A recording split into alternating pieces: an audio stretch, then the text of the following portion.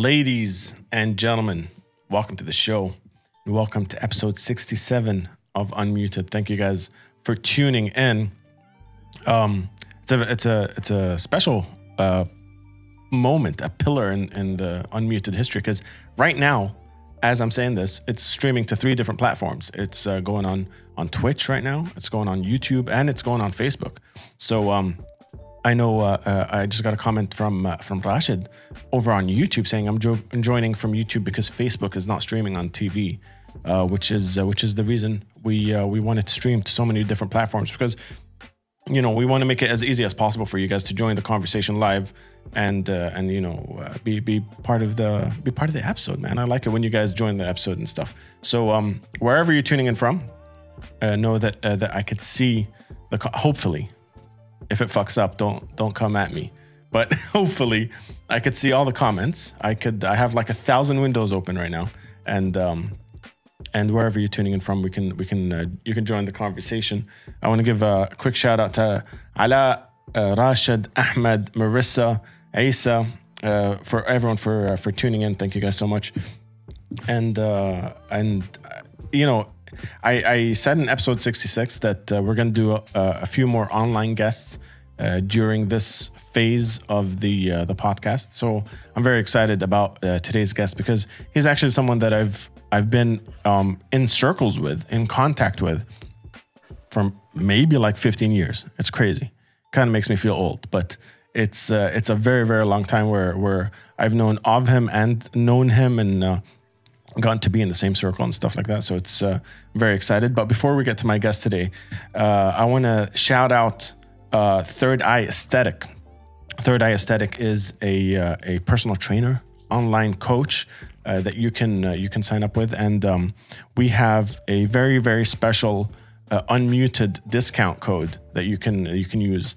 Um, Splash, the, the guy's name is Splash. the the trainer has been on the podcast before and has um, had a um, crazy ass journey. He's he's one of those inspirational people that I uh, love to talk to. But um, I'm gonna play a little clip. Uh, what he has to say and the discount code that you guys get uh, for for listening to the show. Check it out. There's so much change that I notice every day. A divine connection that I'm meant to do this. And at the same time, I plan my day much better. कुछ भी नहीं सोच रही थी. I was not counting time. I hated exercising, hated it, and now I haven't missed a day. Another squat. एकदम positivity आ गई. Cross knee drive and a push kick. Get fit from the comfort of your home. Making me feel good about things when things get rough. We go side to side.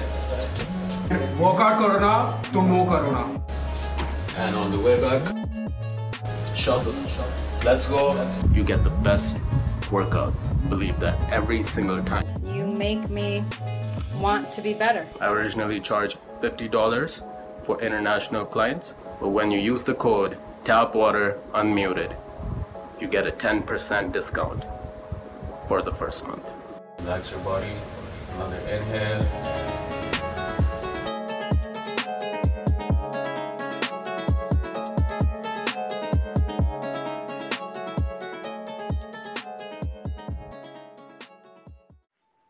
So, like I said in uh, in the promo, use the code TAPWATER UNMUTED to get 10% discount on your first month signing up with Third Eye Aesthetic.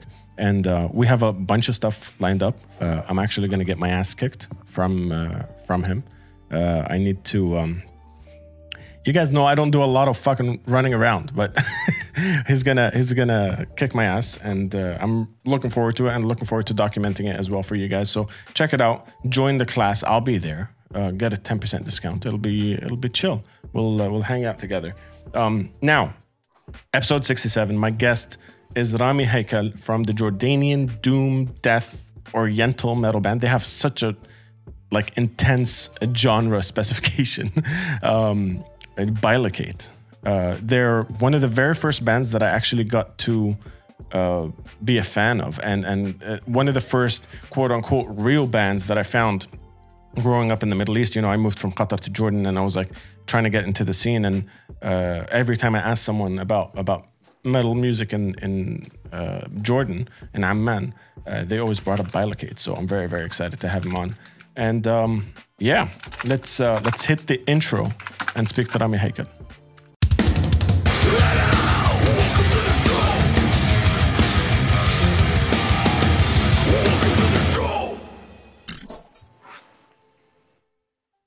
Rami, welcome to the show. Hello. How's Hi, it going, man? Doing great. Thank you for uh, having me on this amazing show. I'm really excited about it. Uh, we've been planning for it since uh, three months now. I know. It's been a crazy amount of time. It's been a crazy yeah. amount. What happened is um, th- there's been, unfortunately, uh, I pre planned so far in advance uh, at the very beginning of the show that I that I stacked them up, and then I didn't realize that if something did happen where I wasn't able to physically like do the podcast or something like that, it would start rolling down. So uh, so I had to like juggle a lot of different episodes and try to figure out where everyone's at. Um, yeah, but I'm, I'm glad you're you here, man. That, yeah, same here. I remember that you, you you notified me about it like three months in advance. I was like, "What the hell?" Eh, Adnan must be like a great planner. no, no, it was it was just a pure naive and optimism. That was that was basically it. Yeah, um, but thank you for being here, man. Uh, just in case there are people tuning in that don't know who you are, if uh, if you could just introduce yourself in your own words to the tribe. Yeah. Um, hello, everyone. I'm Rami Haikal, and most of you know me from uh, me being the guitarist of Bilocate. Uh, and uh, I just want to get to do to make a fast correction. We're we're dark Oriental metal band. This is how we like we like to define our genre and uh, we've been playing. Um, I've been playing with Bilocate since 2004, and they started one year earlier. Uh, so we've been almost 16 years together now, um, and uh, we played uh, different shows in, uh, in Amman and, and the surrounding countries. In Dubai, we played many shows, and that's how we know most of the people. Um, and some other people also know me about being a candy man, making toffees and caramels where, where with my ba- brand Toffimelt, um, which is like a completely different uh, thing from playing, being a metal guitarist and and also doing candy at the same time. Um, I've been doing that also since 2013. Um, and yeah, this is like a quick brief uh, about me, and we can talk into more details uh, later on the show. So I um I, I, I said it briefly that uh, when I first moved to Jordan, one of the first bands that I actually got to know about was uh, were you guys, and uh, the thing the the one thing that keeps uh, ringing a bell back every time I think of like how how long have I known Rami Haikal or when when did I first hear about Bilocate and stuff like that. I just remember the specific uh, place called the Doors Cafe. uh, Oh, in, man. in Jordan, that was like the only place that you could hang out and listen to. It wasn't even metal; it was just listen to rock music in general. And Man, it uh, was so funny that area, that uh, like period of time, the Doors Cafe, and uh, we used to go a lot there, and uh, it was just like a, a shisha place, not, not even uh, drinks, no, no- nothing. You can just get your tea or a can of diet coke and uh, have some shisha. Uh, but the cool thing that the owners used to play, they used to like uh, metal, and they used to play metal while you were um, at that uh, cafe and actually it's uh, they are the reason that at, at some point of time uh, i got addicted to shisha. So you, we used to go there every day and have it there.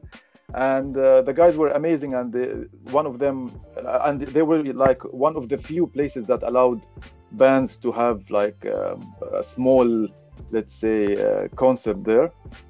Uh, and yeah we met so many people at that place. Like i remember it re- really well. We spent most of our times there Yeah, it was. So the the very first uh, time I heard Bilocate, uh, it was actually you guys at the Doors Cafe. I think the whole band was there, and it was just after you released the the first album, and um, you guys you guys were you had them on both USBs and CDs. I remember that specifically because I was like having? USBs? Yeah, uh, maybe not like the branded USBs, but you had it on a USB, and I was like, ah, so can I get it as an MP3 or a CD? Or like, just buy it, dude. Just support the fucking band. Just, just buy the album, and I and I still have it. I still have that album. I you. think Uh, that was I- actually, I 2005, six. I'm not sure if it if it was around that time. definitely five i think yeah not six uh, because you know after 2005 um, you know what happened and they start banning all of these kind of things. So i think in 2006 everybody was laying low and in jordan. So uh, most probably this happened in 2005 So let's talk about that. Let's talk about being uh, a metal musician from Jordan in a Jordanian metal band uh, in a place that has not accepted metal for for the majority of the time that you were there. Yeah. Um, actually, it's a funny story that uh, first, like, uh, I started the first time I played with a band. Uh, I joined uh, a band where actually he was um, an Armenian guy. Uh, he, he was a drummer, Ara Albishian, and uh, the guitarist was a guy from the Philippines. His name is Philip, and the bassist was uh, Zaid Zakharia. I, I is like remember Zed first Zakharia, yeah. So uh, yeah, man, that was a funny band. Like we just um, created a band and we started uh, playing. And at that time, I was a huge fan of. Uh, I used to listen a lot to um, uh, hardcore. Like I'm a huge fan of Sepultura, of course, and I used to listen to lots of uh, Machine Head. So we were like trying to make something around that. Um, and but we didn't. Uh, we never played a live show. Actually, we, we were supposed to play a live show, which ne- never happened. Uh, we, like we had even had the name. I, I forgot the band name. It was called Sevlusin. It's, it's something in uh, Armenian. Mhm. I think it's the Black Moon or uh, yeah, yeah, Black Moon. So uh, and we had the name on the poster, uh, but that show never happened uh, because of the the reasons you just talked about. Um, and then, actually, while I was with Seb Lucine, uh, they knew Hani Abbadi. Uh, somehow, I don't know how they. Who's the bassist uh, in Bilocate for those that might not know? Hani, yeah, the basis of Bilocate. Uh, so what happened like we were, we were playing and we were like listen we know a friend uh, he's a bassist and we want to get him and to play together we're like yeah let's meet him and he came uh, and we just played together and we met and then uh, like a week later i received a call from him. He was like hey listen i like the way you play. Uh, we have a band. We'd like to uh, meet and talk. Um, uh, let's talk music. I was like yeah please i would love to do that. And this is how Hani connected me actually to Bilocate, and this is uh, my journey started with uh, how my journey started with Bilocate. Um, jumping to, to, the topic you were talking about, our first show that we wanted to play with Bilocate happened in 2005, and it was in uh, Abdoon Circle. I forgot the name of the place. Um, man, I can't remember it. I mean, it's been so, 15 years. It's it's cool now. Yeah, but yeah. Uh, just just uh, for those that not might not like know the the premise of what happens in Jordan, a show because there are no uh, venues that are dedicated venues for that kind of music. Um, it, it's usually in either uh, a venue that kind of is a coffee shop slash bar slash something else. Uh, it's always it was it's always a nightclub. uh, or a nightclub exactly. Yeah. Uh, so there there the are only people who used to uh, like uh, accept to rent you their place. so yeah, can give it to which is still the same. Even even in the UAE right now, it's either a bar or a nightclub or something that you do it. So there there weren't any. Uh, uh, oh, Book official is in the house. He says leaders. That's the name of the place. Oh, leaders! Ah, thank you, Muhammad. Yeah, Mu- Muhammad has a great memory, so thank you for joining and reminding me of that. Yeah, and um, so yeah, you were you were saying you, you guys were trying to play your first show in, in 2005 at Leaders. yeah, so that show happened, um, and we played, and then we played uh, two other shows, I think, in Jordan. Uh, one also in La Casa Rosa. I remember still the, the name. It's also a nightclub somewhere uh, in Amman. And the last, and also we wanted to play another show uh, later on. And I remember that we were playing the main headliners there. Uh, and as soon everyone op- uh, opened and uh, the main uh, also the supporting bands played and when it was our time to play i was like just going into the stage uh, just uh, just about to plug my guitar and to do you know the first chord to make sure that the sound is okay and then suddenly the electricity went down and you hear people saying shorta shorta police police so, and like, apparently they came and um, we had to run uh, away from that place. And that was the last time we tried to play a show in jordan actually 2006 um, and since then um, i'm sure lots of people uh, if anyone from jordan is following they know about this story uh, that um, um, it, metal concert it's not allowed at all. And sometimes they question some people about things. And i was never questioned luckily uh, but um, I know some stories that people uh, were questioned uh, about that.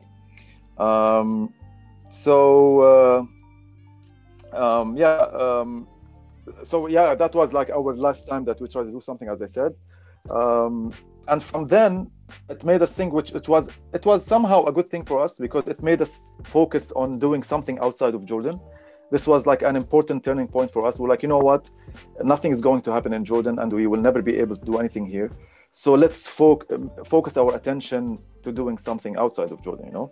Yeah. Uh, and as I told you, it was a good thing for us because um, we were able to. Uh, we started contacting um, uh, agents, uh, uh, you know, labels uh, with and sending them our demos and all the materials we had.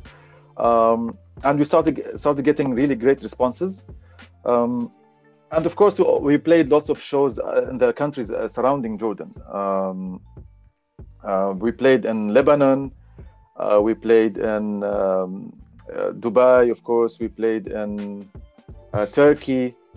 Um, so yeah, and then after that, we, we were like, okay, let's also focus, try to get to Europe, which was like a dream then. Yeah and, and cool things happened. We can talk about them uh, later on uh, in the story. Uh, but about being a metalhead and playing in jordan of course it was always um, you always felt how can i say the name? Um, well i would say like yeah you know as, as, if like they don't really know what's happening and they have a, a, special, a, a specific perception of metal and metalheads uh, which is most of the 90% of the time is not true. Uh, I'm sure that there are some people who are like stupid and do some crazy things, that they, and then the government think that everyone is stupid like these people. Um, and I'm sorry if I'm offending anyone, but um, if you're if you're listening to this and you're one of the stupid people, you you should be offended. Yeah, but, yeah. Let me know. Yeah. so, um, and especially you know what, like I, I, I believe I, I always believe that everyone to his own and everyone can do whatever they like and what they want. I, I'm not judging anyone, but when you live in a country that they have a specific rule for a specific thing, you have to live you know to be able to live your way around that rule and um, how how this government and how this country um, you know uh, accept things. Uh, so if you do something opposing that this is when uh, for me this is stupid you know? Yeah. Um, but i feel so, i feel like this this dichotomy of being uh, n- not accepted in your own like you're you guys are very proud Jordanian band. You, you say uh, you know the band's from Jordan. It's not it's not ever a question where Bilocate's from, and I feel like this weird uh, sense of acceptance, right? Like you, you guys are super proud to have put Jordan on the map. You played around the Middle East. You toured Europe. You're you're the, a big part of the Middle Eastern metal story, and yet you can't play your own hometown because everywhere else in the world, eh, you you you talk to bands from Europe. You talk to bands from the states. The primary arc of a band's lifetime is your hometown heroes first you're the local Yep. legend. You guys are the the hype of the town, and then you start doing all that stuff. Where in the Middle East, a, a lot of people that uh, listen to the show from abroad, uh, oh, I always get questions about it. It's you you don't have that option. Period. You don't have the the hometown hero kind of uh, uh, arc in general when it comes to a band story. Yeah, I agree. I agree. And you know, for us, it's been always a dream. Uh, we never dismissed the idea of playing a great show in Jordan. And, and honestly, we tried several times. Um, and once we, in 2008, I think, or nine, uh, we wanted to to make a show legit in a legitimate legitimate way, and we actually contacted the uh, the government and everyone who was responsible uh, to give you, you know, the uh, approvals and the licenses and all of that. Uh, but we, of course, we faced um, a brick wall at the end, uh, and they didn't let it happen.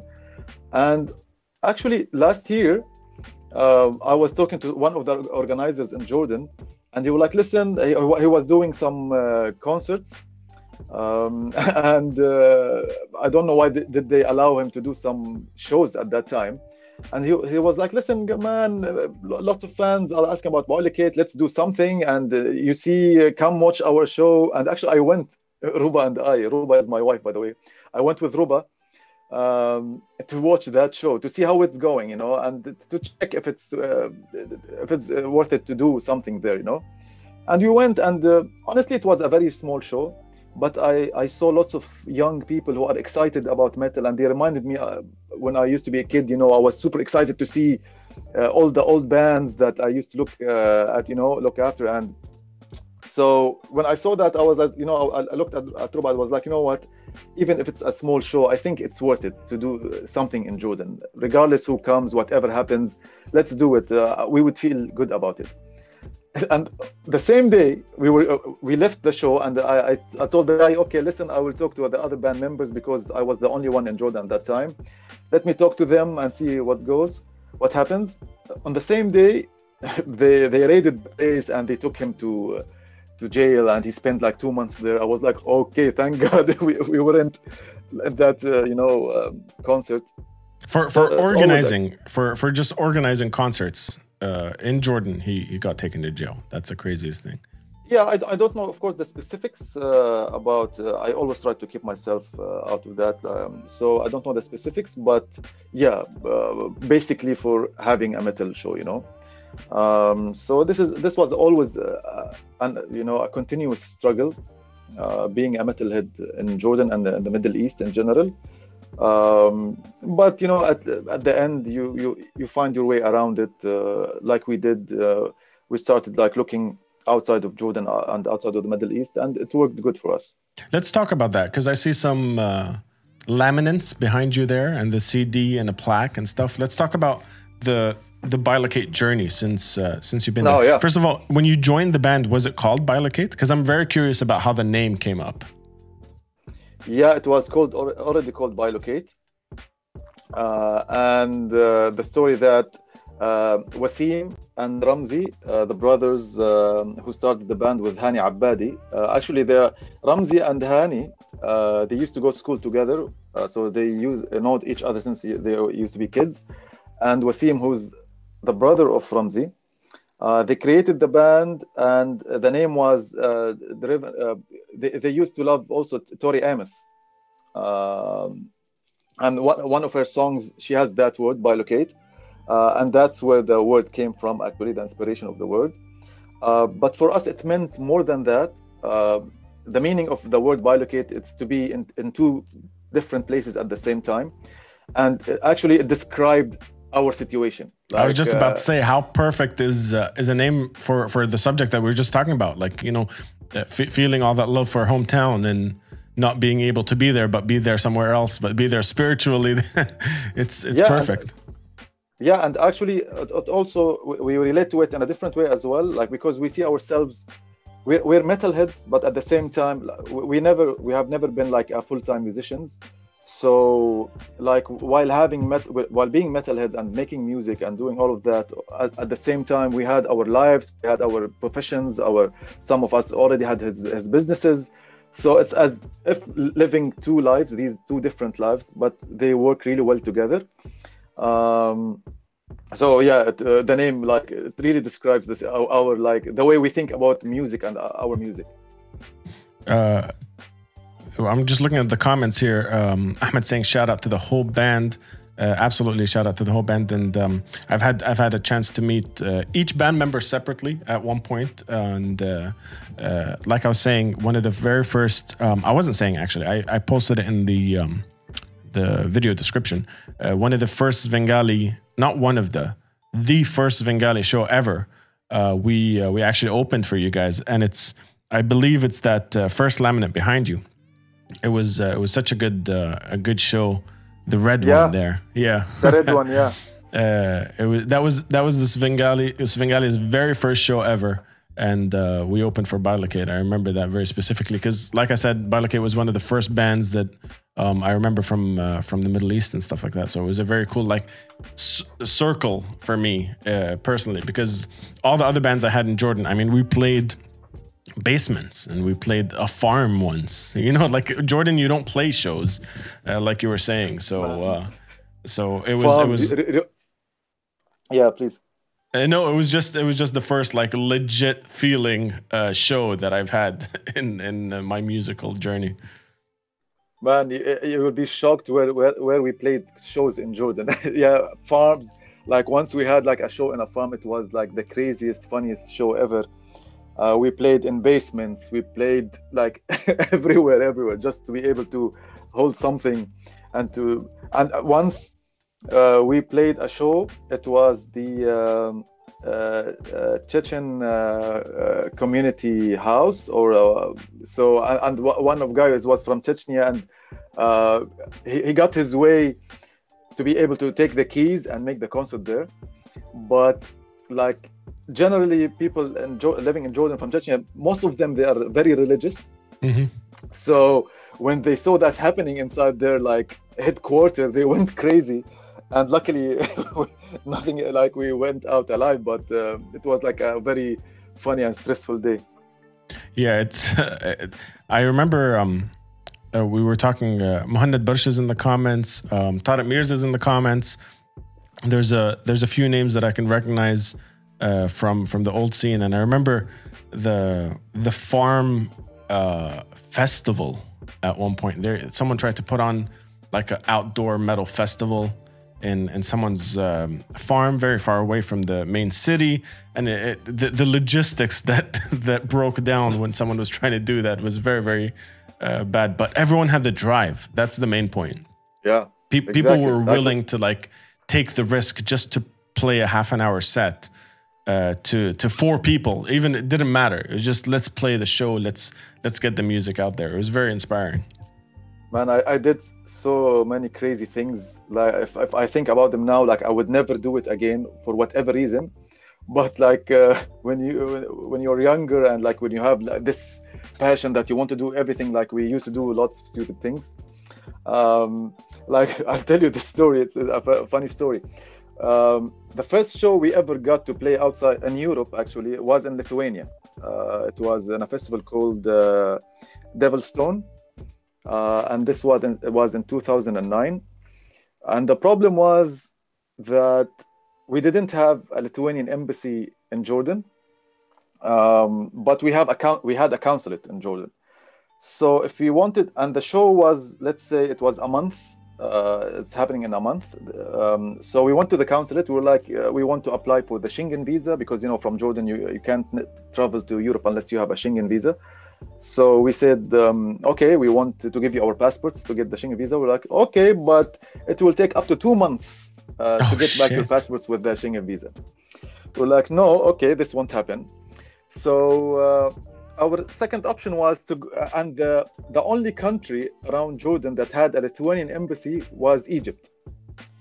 So the only way to get to Lithuania on time is to go to Egypt and Wow. get the Schengen visa from there.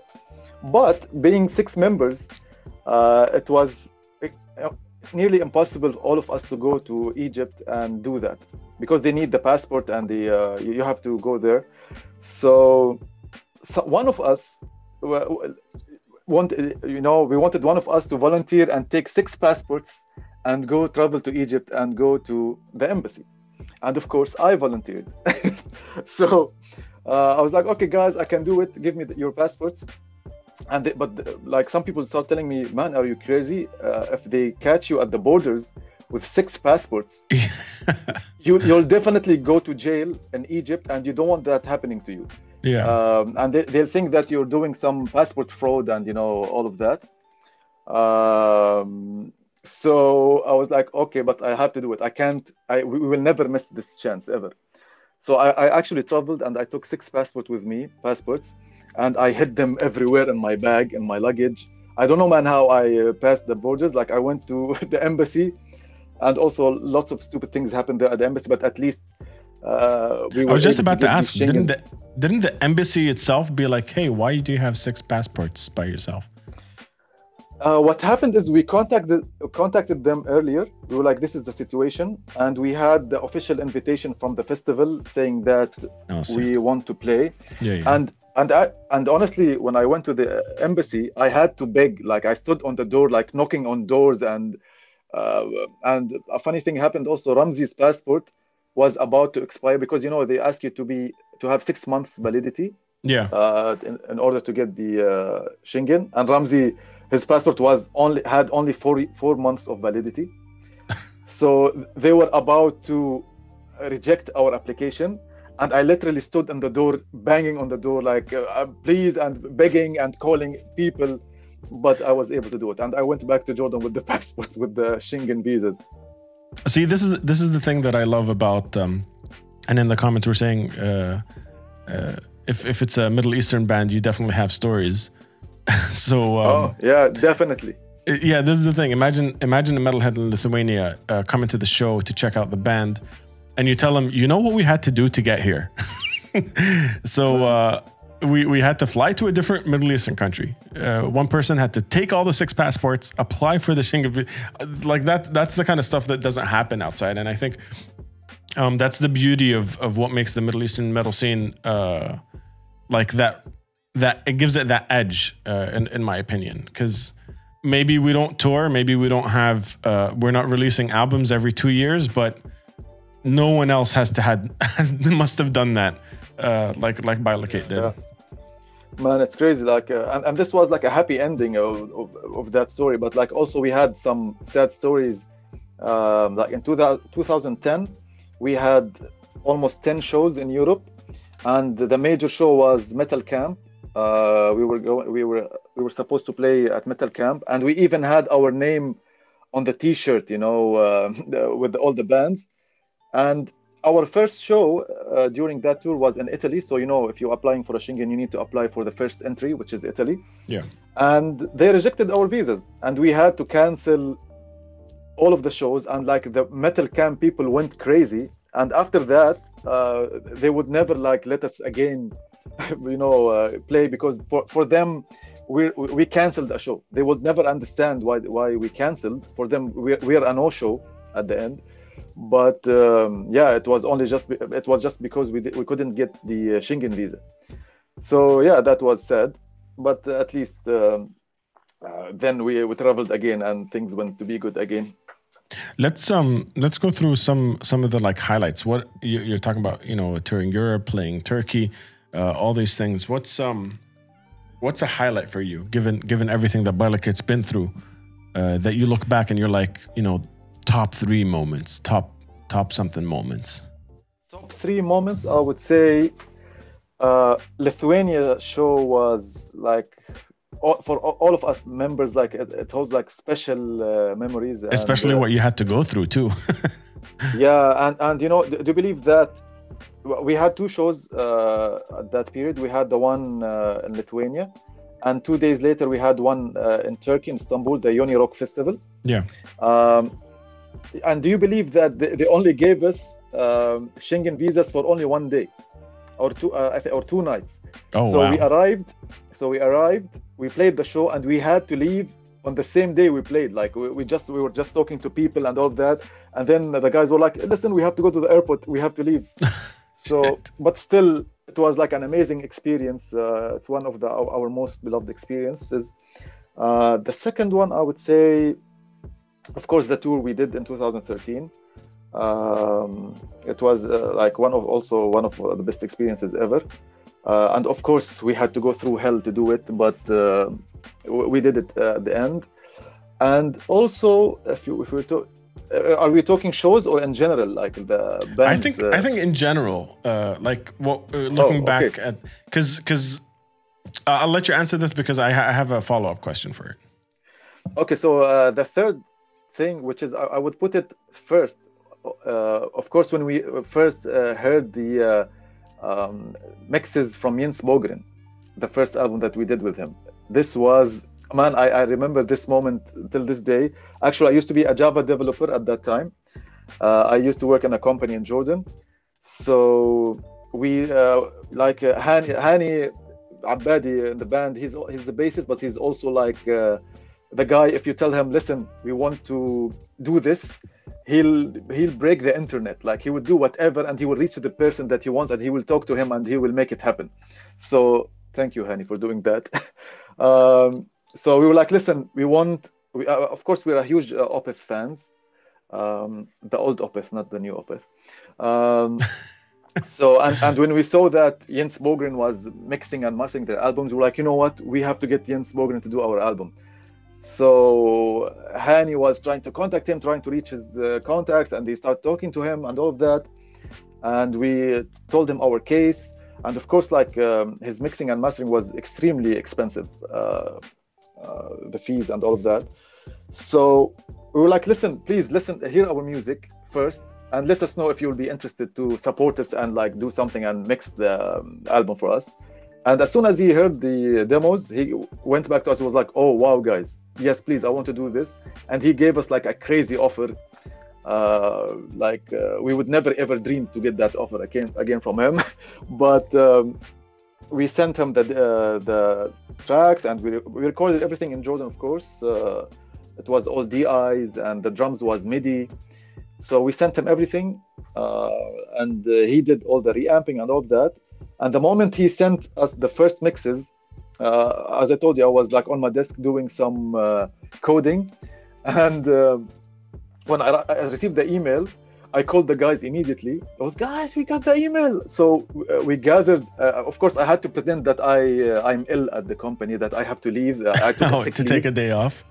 yeah, yeah, yeah. Like I was like, oh man, I, I have to leave. I, so I took a day off and uh, met. We met at Baha's place in Fuheis. Baha is the guitarist of Bilocate. Uh, we met at his uh, room. I can't remember, forget of course that day, and we listened to the track together. And man, it was like I, I have goosebumps now from that uh, memory. Uh, it's one of our best experiences ever. Yeah, to I hear can your imagine. music uh, done professionally, uh, of course, and with Jens Bogren. It was like a, a crucial uh, moment in the, in the band's life. Yeah, that's that's got to be a, a big one out there. Uh, When you guys released the first album, did you guys? When was the time where you're like, I want to take this band seriously? Like when? What, did you guys start off with? We want to release albums and play shows and make music videos? Because from what I remember, even um, I forget the name of the, the the track that you guys had a music video for back in 2005. I think uh, George Dursey. Shout out to George Dursey. Yeah, yeah. Uh, filmed it. um, Days of Joy. Days, Days of of Joy. Joy. Like even back then, uh, 15 years ago, Bilocate had, you know, you guys were putting out music videos. You guys, uh, it felt like everyone was like punching a little uh, harder than the average metal band that was out there. Did you guys go out with the idea of like, we want to take this seriously and, and make it quote unquote like a proper uh, band? Or was it a hobby that you just happened to, to work on? of, of course it started like for me it's uh, maybe each, each member of the band they think about the, these things differently you know? Uh, but i'll tell you like my um, part of it. Um, for me music of course metal was always my most preferable and playing guitar like my, the hobby that i always used to do. So um, and when i found bilocate i really love the music and i love the guys. Uh, and for us it was always fr- a really great friendship with uh, with everyone you know? Um, so but then when we started releasing when uh, uh, of course when you hear feedback and when you when you see that people they, they love their music and they love what you're doing um, and especially the point when uh, and actually this comes later but like yeah, yeah you said when you, when we did the video clip yeah we wanted to go hard on it you know we wanted to do it properly we want to release music we want to uh, do videos uh, because we were testing uh, for us it was like a new territories we wanted to know what's going to happen with that. And we were passionate you know we, we were very passionate about it. Um, and then when we when um, Jens Bogren happened and when we started getting all the amazing reviews um, from international magazines because also Hani and Ramzi uh, they used to handle all the PR and um, you know the communication with everyone and the the marketing um, they used to handle that and they were we were able to get amazing reviews and amazing feedback from like people who would, would we would never ever dream dreamt about having feedback from them.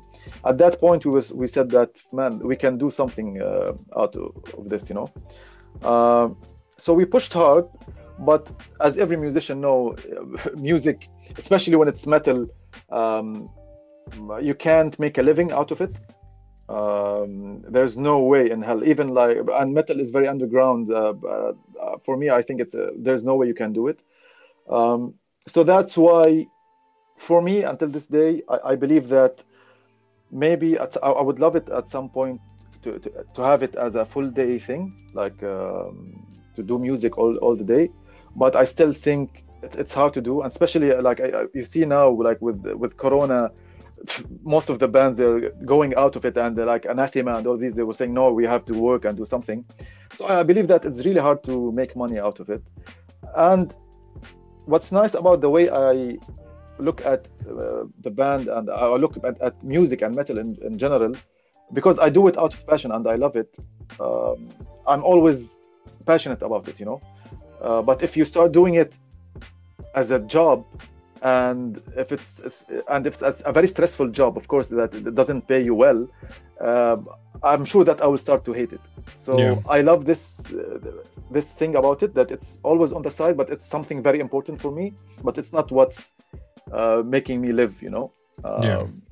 and for me this is the way i look at it yeah that's very cool i actually remember uh, the point in time uh, when i switched from like oh yo i want to be in a band full time i want to be a full-time touring musician to being like i actually kind of enjoy doing music as a hobby uh, a very very well planned thought out hobby um, that that we put a lot of effort and work into but it's not what i aspire to do full-time uh, for to sustain myself. I remember the time that switched and i remember thinking exactly what you were saying like I'm actually glad that it didn't turn into uh into the the thing that makes me my living because then I wouldn't be enjoying it as much. Be, you'll have to tour. Like I've met specific, especially when I moved to Dubai.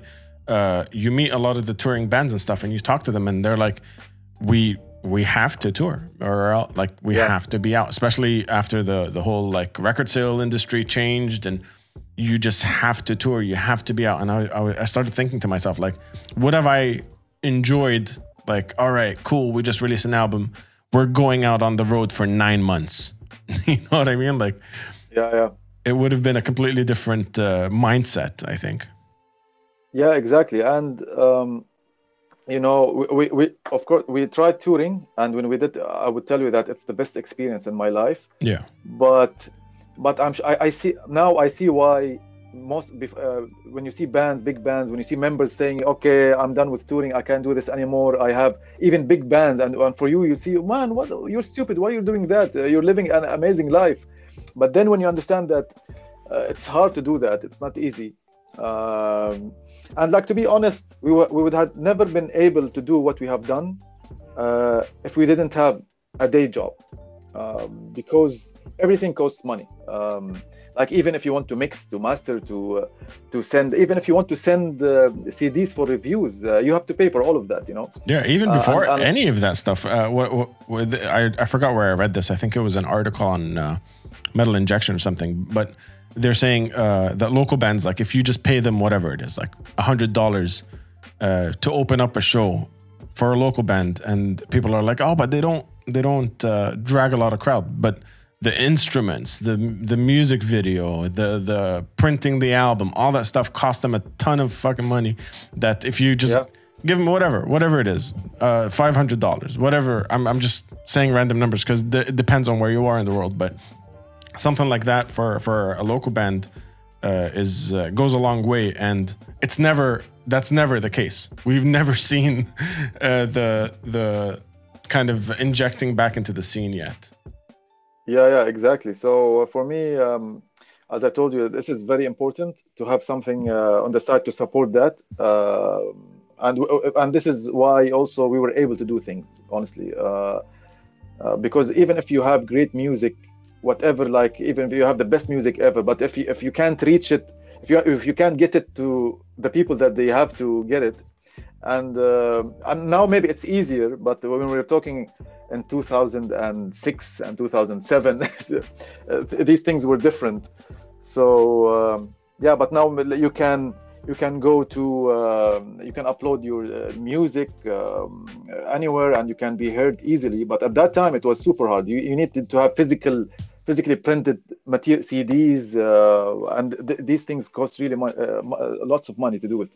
So, wh- what is your take on the on the digitization of of the record industry? Wh- Where do you stand? And are you a pro Spotify or no Spotify? I'll tell you, I, I was, you know, um, struggling to accept the new digital age of uh, getting my music. Uh, and, you know, like I lived in a generation uh, where having physical CDs or cassettes, it was very important for us. Uh, and uh, from my generation, if you look at people, they, they cherish their collection of CDs and cassettes. For them, it's very important. Um, but uh, forget the the side, uh, the money making side for the bands. But I'm talking about, uh, you know, uh, how do I feel about it? But then, you know, I started thinking about it in, in a different way because, of course, most of my library has been MP3s for forever. You know, and even if you have a CD, you'll just strip it and put it, uh, convert it to an MP3 and have it on your library. Um, so and then, I when I, when I started uh, listening to music on Bandcamp, um, I realized that you know uh, this is a way to uh, support bands uh, to buy the, the actual music from there because you're already buying uh, if you want to buy a cd i'm sure uh, label wise i'm sure it's the same. Like they, they'll just give them the same cut uh, because labels take most of the money. Yeah. um, but uh, i started seeing it like as a good thing to uh, buy things uh, using uh, websites like bandcamp. And I, I you know i convinced myself um, to uh, to to think about it like this is my collection. So now i'm proud. Like if i go to my bandcamp i see the all the albums that i bought and now i consider that i shifted my mind from the physical collection to have it uh, digital. Uh, still sometimes you know i like to look at the physical things but uh, I was able to take that leap and go to the digital, um, you know, library of music. I'm always curious about that, especially when it comes to musicians from the Middle East, because it seems that there's always an extreme reaction. Uh, there's not a lot of people that are indifferent about uh, uh, the whole, you know, music moving to the. Even though it's been it's been a long ass time now. We're not, you know, it's not the MySpace era anymore. Like this is the new reality that we're in. There's still a lot of people that um, that completely disagree with the way things are going, and people that are completely okay with it. There, it's very rare to find someone that was like, you know, I I learned to love it. Um, actually, uh, Tada in the comments just went, uh, "Fuck Spotify." Uh, if you're Drake, then Spotify is great. If you're a Middle Eastern metal band, fuck Spotify. Bandcamp is awesome. At least the quality is way better. Uh, Bandcamp WAC files will always be better. But Yeah, that's kind of what I'm cool talking about- about. The the extreme the cool reaction. Yeah, yeah.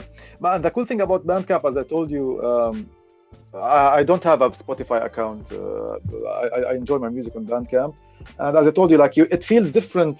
Like if you subscribe to a service and you get all the music that uh, you can, it's different. I still like the feeling of buying something specific, you know.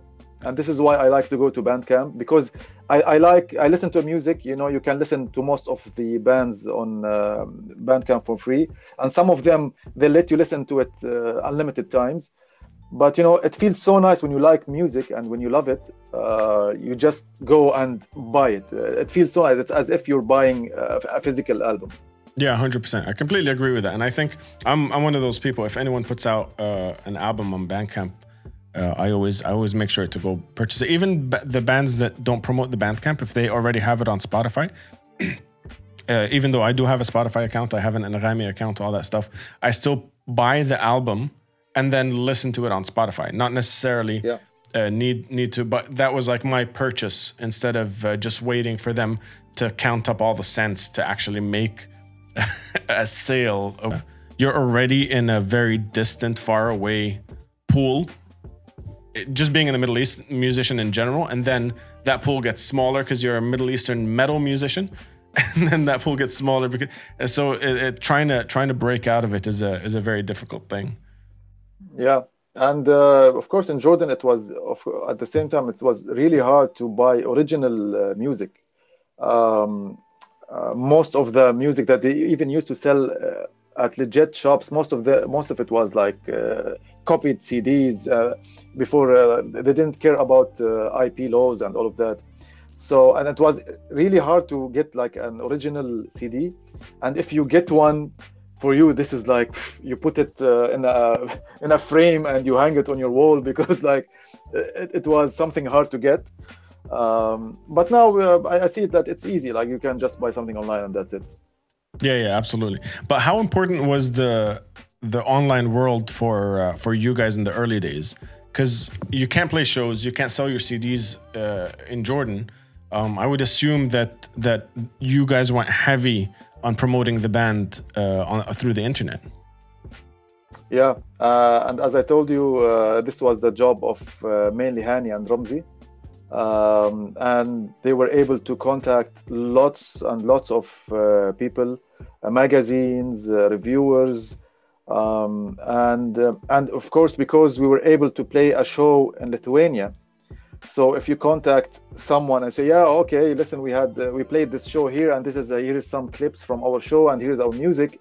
Um, it made a difference, you know, uh, especially that when you say it's uh, uh, mixed by Jens Bogren. If you add, uh, always people like names, unfortunately, uh, but this is the truth. This is the real, reality, you know. Uh, so if you say that this is mixed and mastered by Jens Bogren, uh, it's as if you you you give it the seal of approval already. Yeah, yeah. Uh, so people were like, "Yeah, listen, oh, we'll listen to it. We'd love to to hear it," and uh, and this played well really uh, for us, um, um, and that's how we were able to get all of the, all of the attention.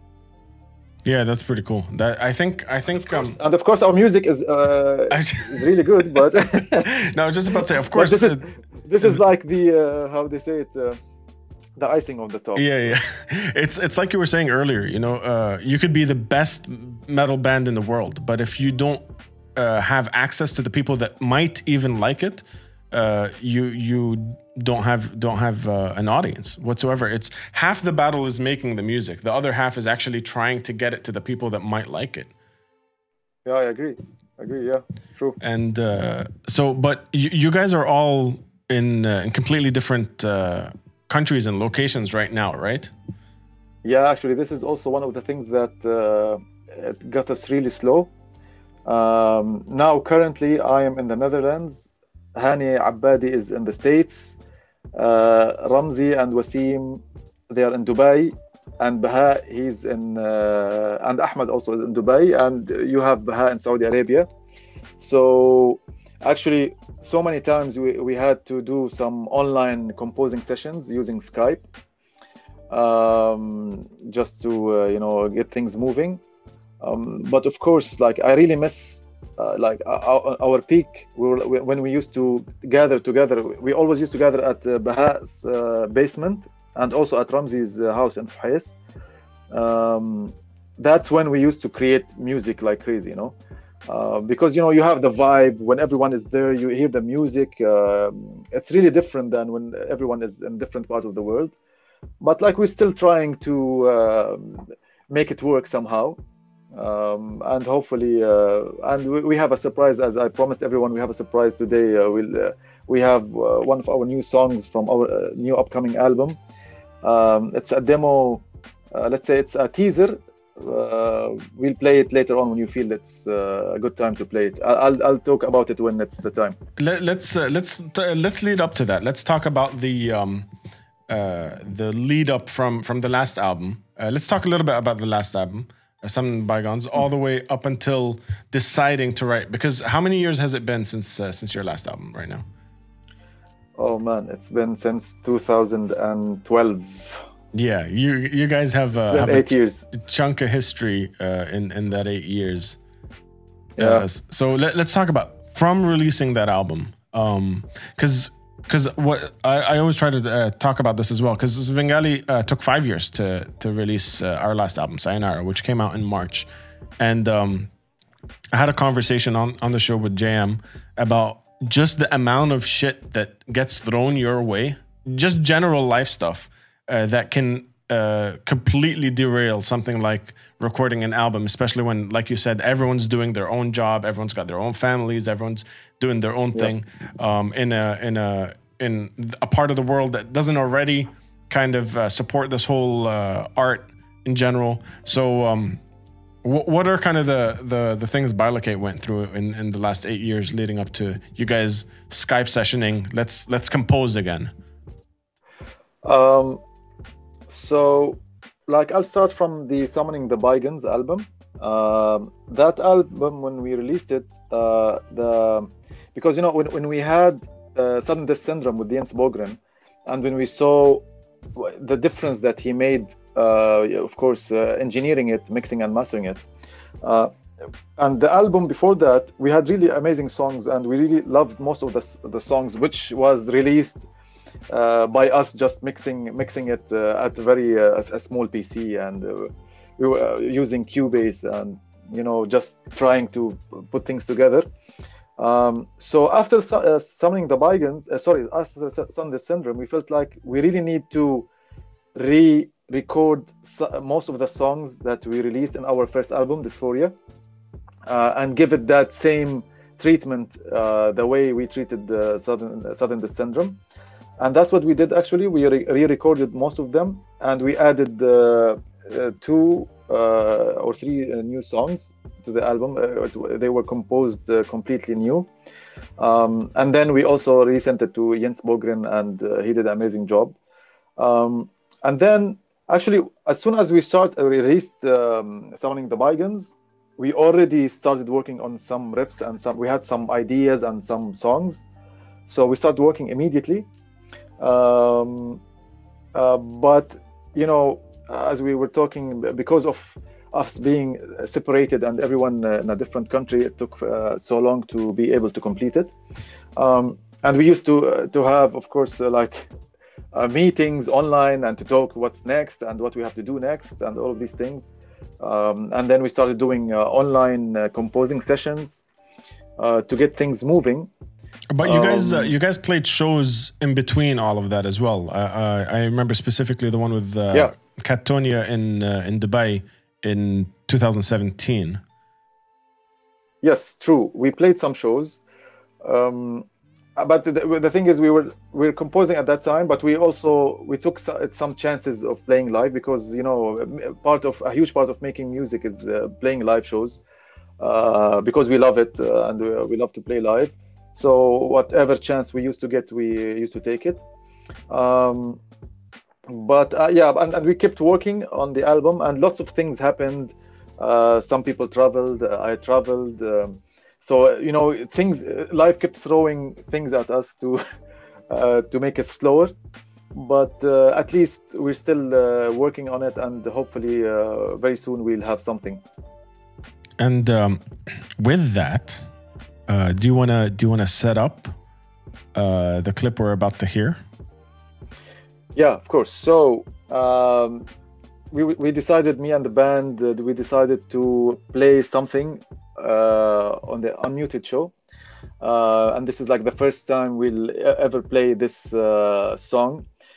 This is we cut some parts from a song that we're composing. It's called "The Resurgence." Um, it will be a concept album.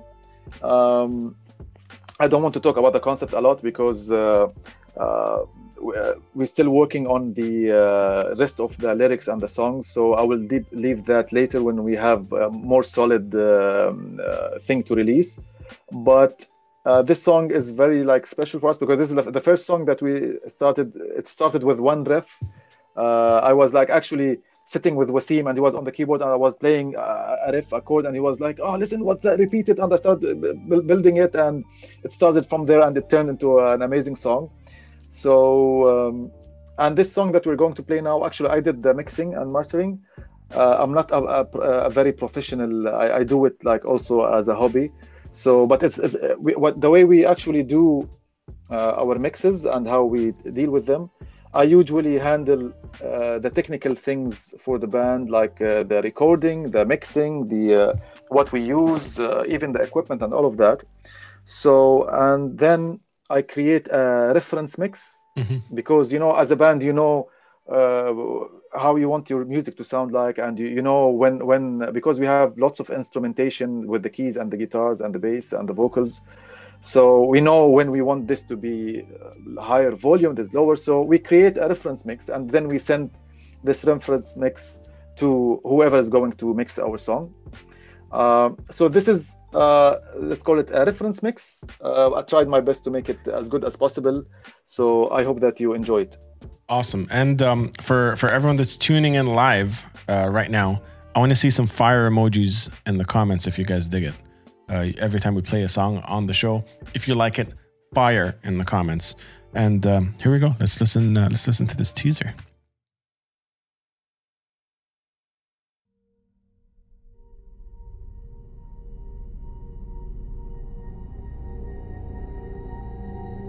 I'm gonna I'm gonna turn it off.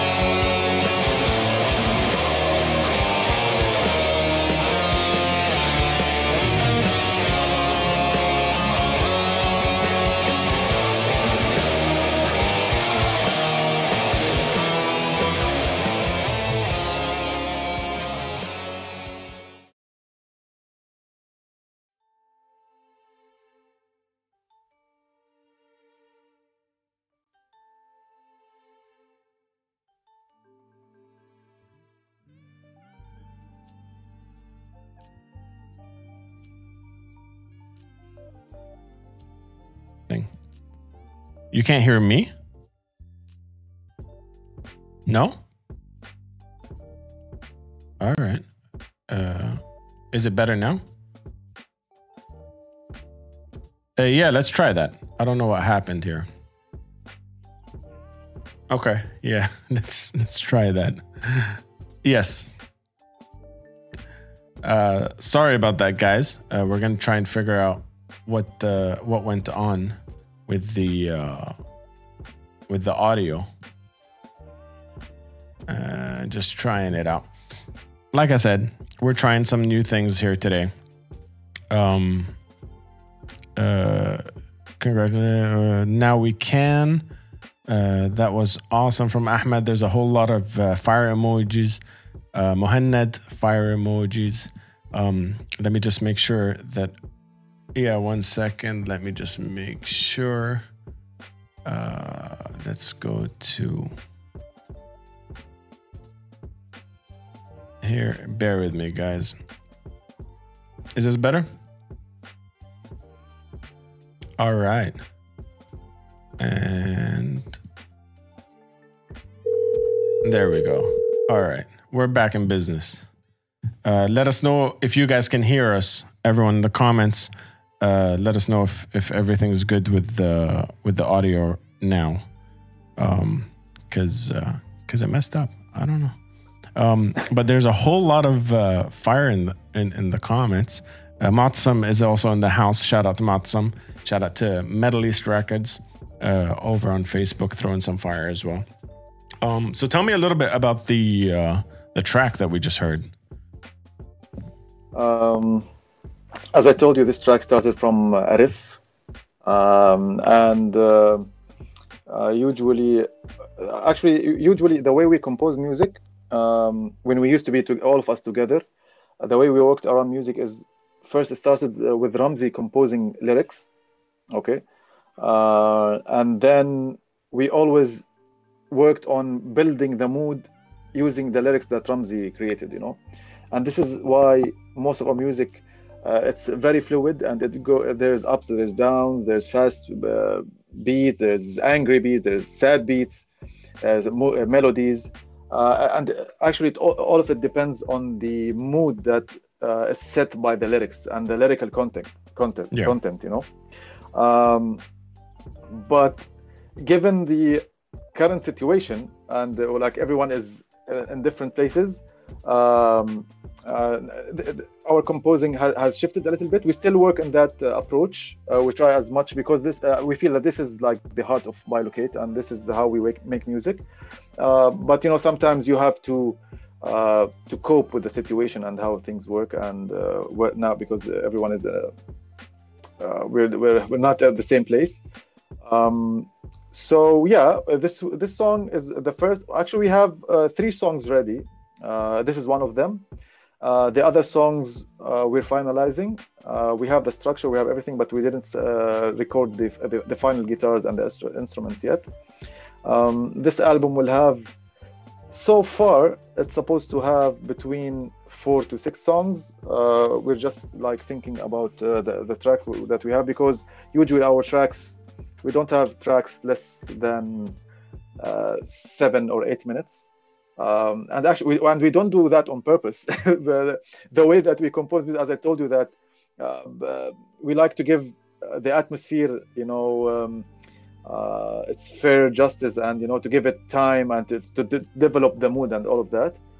Um, so yeah as i said this song is will be called resurgence uh, and it will be part of a concept album which we will announce very soon So uh, you, you mentioned the length of uh, of the tracks, and that was one thing that always used to stand up to me uh, when it was uh, when I when I uh, listened to Bilocate is you guys really do like like a journey of of music. It's not a track where it's verse chorus verse chorus bridge outro kind of uh, structure whatsoever. And like you said, it, it came naturally to you. You don't plan on on making the songs longer, but what is it about doing longer songs and uh, and writing more like concept albums, concept kind of grander scheme songs that um, that attracts you versus the the standard you know verse chorus verse chorus. Yeah. Um, this is always like a debate, and I, I have debated this thing with lots of my friends, and uh, I, did that with Tariq lots of time. I, don't know if he's still with us. Um, for me, I, I there's not, not there's no right or wrong. You know, um, each style of composing and each style of music has its own. Uh, I listen to lots of styles. I like the death uh, metal bands, and I like to have a song with only two riffs. I don't mind at all. You know, but the way we do music with Bilocate, as I told you, uh, it always it always revolves around uh, a specific concept, um, and it starts from the concept of the album and the concept of the music that we're creating, um, and then it goes into a granular level uh, with every song and every part. So, and that's why. Um, as I told you, like when we Ramzi sometimes Ramzi writes amazing lyrics, and and these lyrics he has diff- really varying moods and varying feelings in these lyrics. So we really take our time to read it really well and then think about how can we, if it's an angry part, how can we give give it fair, you know, to uh, fair representation this part uh, through th- through the music. And that's when we start adding things up. We then maybe we start with a riff. Uh, we uh, then uh, Wasim adds nice keyboards, or maybe the opposite. Maybe Wasim has like a very nice key uh, keys that he's playing. Sometimes Hani comes with a, a really nice riff that he came up with, and we we see that it fits to this mood, and then we build on it. So it's a very organic, uh, I would say, dynamic way of uh, composing, um, which give it which gives uh, our music. Uh, you know this feeling of not being just um, you know a static song with uh, two riffs and uh, uh, and playing, uh, which we which we really love, and this is like the uh, the essential um, you know part of uh, of Bilocate. So th- this is uh, this is one of the things that um, the very is very very different between uh, Bilocate and and my band Svengali is that uh, we uh, have a very closed uh, session when it comes to uh, to writing. I um, JM and I sit down. Uh, we write all the music, all the lyrics. We demo it. All the stuff goes into it, and then we send it to the guys, and um, they uh, suggest you know changes and stuff like that. But for the most part, it's just JM and I, and and we have uh, kind of a closed uh, door uh, policy when it comes to that stuff. How hard is it to have six dudes with six opinions?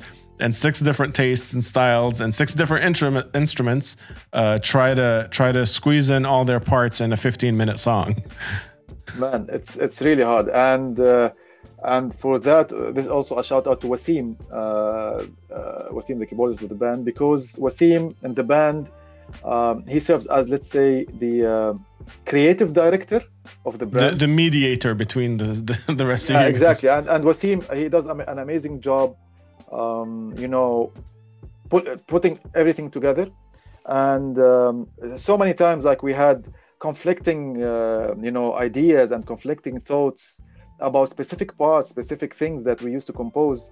But then we, we really trust Wasim with that. Uh, I believe that Wasim he's he's a genius when it comes to music. Um, and he has the ear and he like he, he knows when some certain parts work here and they do not work here. So uh, yes we, we come up with uh, every as you said every member in the band has a different style. Uh, we, we listen to totally completely different styles. Of course we have things in common but uh, it's all over the place. Um, so yeah um, and we come up with so many things and then we, when we when we put everything together we um, we think about it together and Wasim gives suggestions we give suggestions and this is how it works and this is why it takes lots of time actually. Yeah. uh, it's not like uh, you have this riff and let's put it and we want to have it uh, and you ask the drummer yeah you have to put something on it. This is uh, this is not how we work you know? Um, uh, so many times we keep uh, you know back and forth and uh, let's do this let's try that and even sometimes it happened even after doing the final recording uh, and this happened with us even uh, actually in Sudden December before sending um, the tracks to Jens I discovered that I didn't like my line of guitar. I was like, "Hey guys, listen, um, I can do something better." Like, let's, and I did something, and I sent it to the guys. after oh, yes, everything was done yeah so the, we, uh, we like to sometimes it's not uh, good to keep changing uh, because it drags things longer but we like to do it this way because we when we believe that there's something better that we can do here we like to do it uh, the best we can you know? Yeah, and when you when you're doing an album for us it's not like we we, we uh, release an album every month you know or every year um, making an, an album takes lots of effort and lots of time and um, so if you want to release every six or seven years it has to be perfect you know It has to be the one you want to release. That's exactly Yeah. yeah. Um, but uh, speaking of that, speaking of the the distance between uh, each album, speaking of the rarities of the shows and uh, you know all, all the struggles having to go on tour, all that stuff. Um, what is uh, when it comes to the band specifically? What is uh, successful? What is success to you when it comes to Bilocate? What when when do you think look back and go that was a successful band, that was not a successful band? uh, you mean uh, in our journey uh, in in your journey yeah like what makes what makes what is uh, success to you when it comes to the middle eastern metal bands success for me uh, for Bilocate, uh, I'll tell you how. Um, like for us, being in so many reputable magazines, of course, like being reviewed by the top reviewers and getting amazing, amazing reviews from all of these people. Um, and also like the fact that our Sudden Death Syndrome album uh, on Metal Storm, it's still considered to be one of the top 100 uh, doom metal albums of all time until this day this is like a, a, a huge uh, for us, you know. Um, and you know the fact that you know sometimes it's so, so funny and so silly, but like sometimes even until this day, before leaving Jordan, when I used to uh, uh, doing some work for Toffimelt and I want to print something for Toffimelt, and I go inside the print press, and the guy looks at me, hey. Man, you're the guitarist from Bilocate. I listen to your music. I'm really a huge fan. This things means a lot. Uh, you know, it, it means the whole world. Uh, even like we've been uh, out of the scene for so long and not releasing anything new but still some people they dig your music and they um, they can't wait for a chance just to say uh, I, i'm a fan i like your music. Uh, this is like um, a huge pride for us as well. Um, and yeah so yeah i would say it's, uh, success is to have recognition for what you do uh, and to have the right recognition um, uh, and see uh, you know how it reflects on other people. Do you guys And, uh, no sorry keep going. No, no, I was going to say that, uh, of course, as well. Uh, so many times we've heard that we've been we've been an inspiration for lots of people as well, which is which is amazing for us to to hear that as well. that was actually where i was going i was going to say do you guys um uh, either either know or get uh, any kind of messages from from the Jordanian uh, metal scene, from the Jordanian metalheads, uh, because off the top of my head, I don't know many other Jordanian bands that have achieved uh, the the stuff that Bilocate has. Um, uh, in in terms of uh, the albums released, in terms of music videos, in terms of the touring, all that stuff.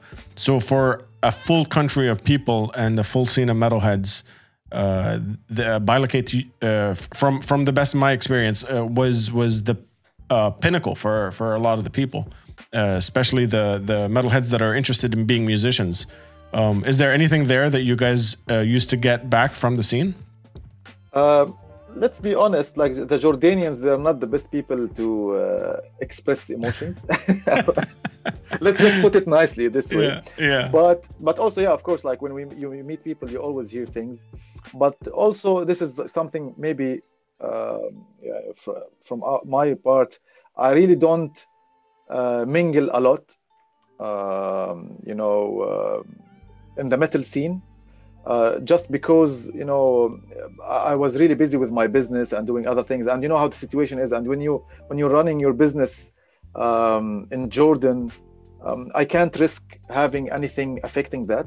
You know, so I I, I always try to uh, keep away. I'm I'm always present uh, online, like we release our music and do all of that. But other than that, I kept away, uh, kept myself away from the scene just to, uh, you know, work on my business and my, my life normally.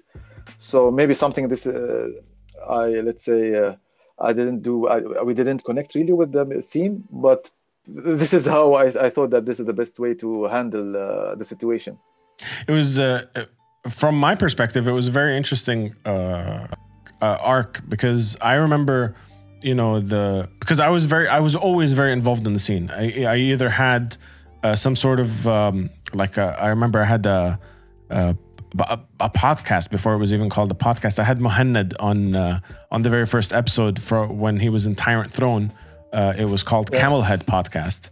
Um, I I always did interviews. I always did reviews somewhere, uh, whether it was on Jorzine or or or stuff like that. I, I was very very heavily into uh, being a part of the scene. I still am. I mean, this whole show is based on you know the Middle Eastern scene. I used to have Have you seen that? All that stuff. Uh, uh, Mohanad in the comments saying Camel something. Yeah, it was Camel Head uh, podcast, and um, uh, I I remember distinctly the uh, the the kind of uh, it, it wasn't attention. It was there. There's this thing that happened with Bilocate, specifically Bilocate in the Jordanian scene and to a broader spectrum, the Middle Eastern scene, where once you guys started releasing uh, the albums and started playing bigger shows, uh, you were you were all of a sudden not you were the enemy in Jordan. You were like, oh that that band, uh, Bilocate is is too big now. But there was no one else in, in the Jordanian scene. It was such a crazy, weird trip. And I remember, I think I had a conversation with uh, the vocalist Ramzi about it, and uh, and it was just one of those things that um, taught me more about the the herd mentality of uh, of the group of metalheads that make up uh, a small scene, uh, where like I never understood, for example, when you watch documentaries and stuff where people were like, "Oh, as soon as Metallica got signed, they they sold out," and you're like, "No, they just grew." Uh, but Oh, people man, don't no. want bands to grow; they want them to be theirs and theirs only. And I feel like Bilocate went uh, went through that for a while. Yeah, and um, like I don't like to go into this, of course, but like the metal scene in Jordan, I would say it wasn't very uh, uh, supportive. Let's say. Um, um, the, I don't like to talk about these things, as I told you, but uh, of course, you always have some some people that they affect, and they, as you said, the herd mentality as well. That they affected the opinion of so many people. But for us, you know when we saw that okay we we, we did uh, what we did and we were and we had recognition uh, from somewhere else we had to follow that recognition and ke- keep building on it you know um, but still uh, again uh, like our dream is to, to go to go back to jordan and have an amazing show and have a big uh, we always dreamt about having a really big show with lights and and to do it properly but i don't think that this will ever happen I actually have the same dream. I genuinely have the same dream. I um, I remember it started building when uh, uh, we were preparing to play uh, Open for Sepultura here in Dubai, and uh, and I had a conversation with with one of my friends saying, imagine that.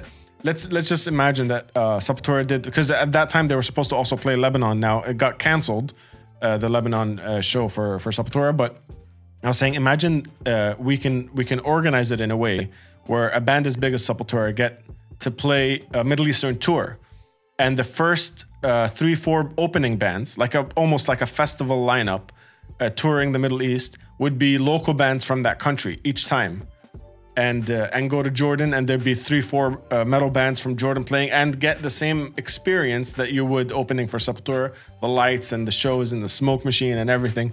And I thought. Um, I, I thought that would be really fucking cool. And then and then I realized it was and then they canceled Oh, the yeah. show in Lebanon and I was like, oh, okay, so it's probably harder to do it in Jordan now. Oh yeah, yeah, never. Uh, I- I don't think that it will ever happen in our lifetime. I don't see it happening. It's a very grim uh, thing to say, but um, I don't see it happening anytime soon. You were saying you were saying um, talking about like uh, you know being an entrepreneur, being a business owner in Jordan, and uh, the whole stigma that comes with being in a metal band, the kind of perception that the Jordanian um, community, not community, maybe Jordanian government or like the authorities in general have on uh, on being a metalhead and stuff. What did you face anything? Um, uh, in, in between the two worlds, being a business owner and being in a in a band that stand out to you, where you're like, I had to explain myself to someone. Uh, like uh, you know, I've I've had experiences where I was like, no, no, we don't kill cats. Uh, no, we're Yeah. not we're not Satanists. You know what I mean? Like I've I've found myself in those situations. Was there ever a time where you have to explain yourself to anyone for for being in a metal band? Uh, while doing business, uh, in the business sense, never. I don't think it, uh, any, uh, it happened to me ever.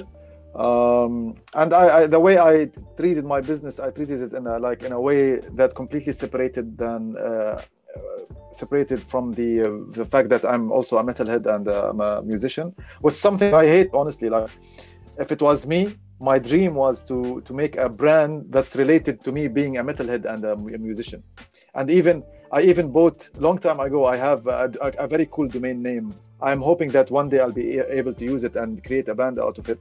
Uh, to create, sorry, a, a, a candy uh, brand out of it. Um, but uh, in Jordan, I never had the chance to do that uh, because I knew that if because my, my plan to start a business was to make a business that I can uh, make it um, accessible to everyone. It's not just a niche product for metalheads, and and they're like you can count them on your fingers in Jordan. Um, so the plan was to create something that anyone can get and uh, and buy, um, and that's why we created a brand that's uh, that revolves around the product itself uh, more than it revolved around me. Um, and, uh, and we created it. Uh, Ruba helped me a lot um, at the beginning, at the start phase, because um, she used to be a designer and she helped me designing the logo and the branding and all of that. and it picked up and it went well. And then, at, and then at some point, I wanted to do a rebranding, um, a, a branding uplift for the brand. So and that's when i was like hmm i have to include myself more in the brand. Like i am the brand uh, and my customers uh, most of them they know they know Toffimelt and they know that i am behind it you know? So that's why when we shift it now the logo is black and it uh, says toffee by rami Haikal still it doesn't have my, my complete character in there i would say but it's now it's more closer to who i am um, but as i told you like at some day at some point uh, I'm like I even have uh, an art board for uh, a very cool branding for the the thing that I want to create. You know, boxes with you know uh, with cool names, flavor names, uh, Satan's uh, chocolatey breath, and you know all of these like in a cool way. You know. Yeah. and actually, coming to the Netherlands, um, I moved to the Netherlands with Ruba early this year. Um, and one of the plans is to do something like this because you know here you can do uh, these things and people will accept it. Uh, and you'll, you'll, you'll find the market for it which is important for any business. Uh, you don't do business for fun yeah. You have to make money out of it. So let's um, let, uh, wait wait before we continue let's go back uh, and and explain to everyone that um, that is uh, watching or listening that doesn't know about Toffimelt um, kind of give us a brief on on on what the company does, and then I, would like to go back and kind of figure out the history of of how you got into this. Okay, so um, Toffimelt, um, the brand I created and the business, it's uh, a, a, gourmet uh, toffees and caramels brand, and I started this business. I started in 2010 actually. Uh, and I come from a family. Actually, I'm the fourth generation of candy makers in the family even my great grandfather used to be uh, a candy maker. Uh, and it's written on his passport that uh, his profession is um, is a candy maker. Um, and my grandfather had uh, also he started from scratch and he built his own business in uh, downtown Amman. Actually, he used to make uh, candies with my grandmother at home, and they used to wrap it by their hand and they go just sell it on the streets of downtown Amman. Um, and my, my grandfather was like a, a, great entrepreneur actually. He went he tried to do everything every kind of businesses. He, he used to sell uh, chickpeas uh, candy rice whatever you think of he used to get and sell. Um, but then he found that he likes uh, also to uh, he focused on making candy so he started um, his his small factory and then at, at some point it turned into like a big business um, and this is where I came in. I, I was born in '83. I'm old, um, so and in '83, like when I was born, it was like the peak of the business. Uh, it was going really good, but at, at early '90s, um, business started, uh, you know, not doing good uh, because of the competition of the Turkish competition and all the products that used to come. And Jordan is not a very uh, manufacturing uh, friendly uh, country, let's say. Yeah. Um, so they started facing lots of problems, and then at some point they had to close the business. Um, and I personally I studied computer science actually uh, at Princess Sumaya University, uh, and I, I, started doing uh, Java development. But then at some point, in my life, like when, when the business was about just about to close, I felt something, you know. I was like, no, I can't let this go away, you know. Um, of course, they already dealt with the family business thing. They sold everything, but still, I had this urge inside of me that I can't let this go. You know, it's it's a, the family heritage. Uh, it's very important for the family, and that's when I started making experimenting with some recipes uh, at home um, creating because my, my grandfather's factory used to be um, a, a, more mass production commercial factory um, so I tried to approach it approach that uh, in a different way uh, to make uh, gourmet and artisan uh, handcrafted candy uh, and it started from there actually. I started from home giving some friends samples. I used to go to parties with some candy in my pockets and give people and get their feedback. Um, and start you know i start participating in some events like the christmas markets ramadan markets uh, mother's day.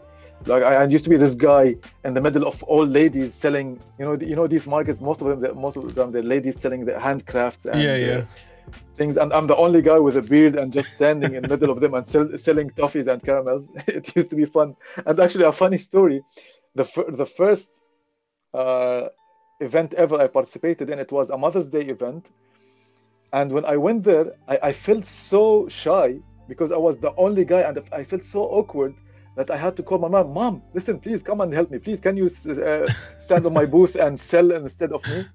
And she came and she helped me. But then I was like, yeah, okay, I'll have uh, to do it. It's my business.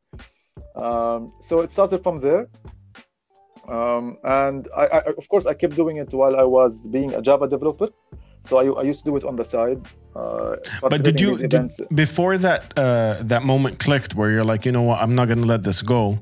Um, were you were you uh, into uh, culinary arts in general? Like, were you uh, into cooking? Were you was it something that uh, that have you made candy before for for yourself? Like, how, or no. was it all from scratch? I'm just gonna do this head first.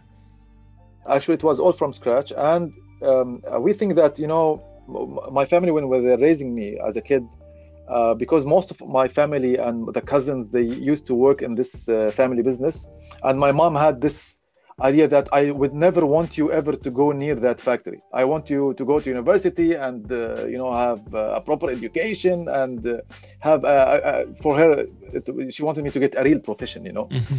so so my parents were always trying to push me away from that. And it worked naturally. Like I, I of course i studied computer science because i'm uh, i really love technology and computers and all that. I was a huge fan of that at that time. Um, but um, so yeah and when that happened as i told you i never tried cooking anything before i only knew that i went i used to go to my grandfather's factory and he had these big cookers so it's not even people used to cook it so it's just big uh, industrial cookers um, but then i I find, you know, I had, I, I, found something inside of me hidden that told me, listen, you have to do it. Try doing it at home. And this is, I thought, I, I, I taught myself to do it. Um, of course, I asked uh, my father lots of things because he had some experience uh, with my grandfather. Um, and but but I started researching the recipes, uh, trying them at home, giving samples to everyone and spending all my salary on buying butter and almonds and pistachio and throwing it in the garbage with burning everything so yeah this is how it started and then uh, on uh, 2013 uh, i decided that i want to take this uh, and make it a full-time job uh, and of course i took this decision while i was already selling the product and at that point i knew that it could be a working business uh, because I already have some customers and uh, I had some traction. So, and literally, when I quit my job, I only had uh, salary that will last me only for two months. That's it. Mm-hmm. Uh, I, I, didn't start the business. I started. I started literally from scratch. I didn't have uh, no capital, no investment, uh, no backup from anyone. You know, so I was like, you know what? It's a risk, and I have to take it, and I did it and I'm glad that I did that. Uh, and I've been doing it full time since 2013 now. Was there a sense of, um, was it like uh, belie- uh, uh, self belief? Was it something like believing in the product, believing in yourself, or was it like like a leap of faith. Like I'm I'm just jumping. I have no idea what's happening.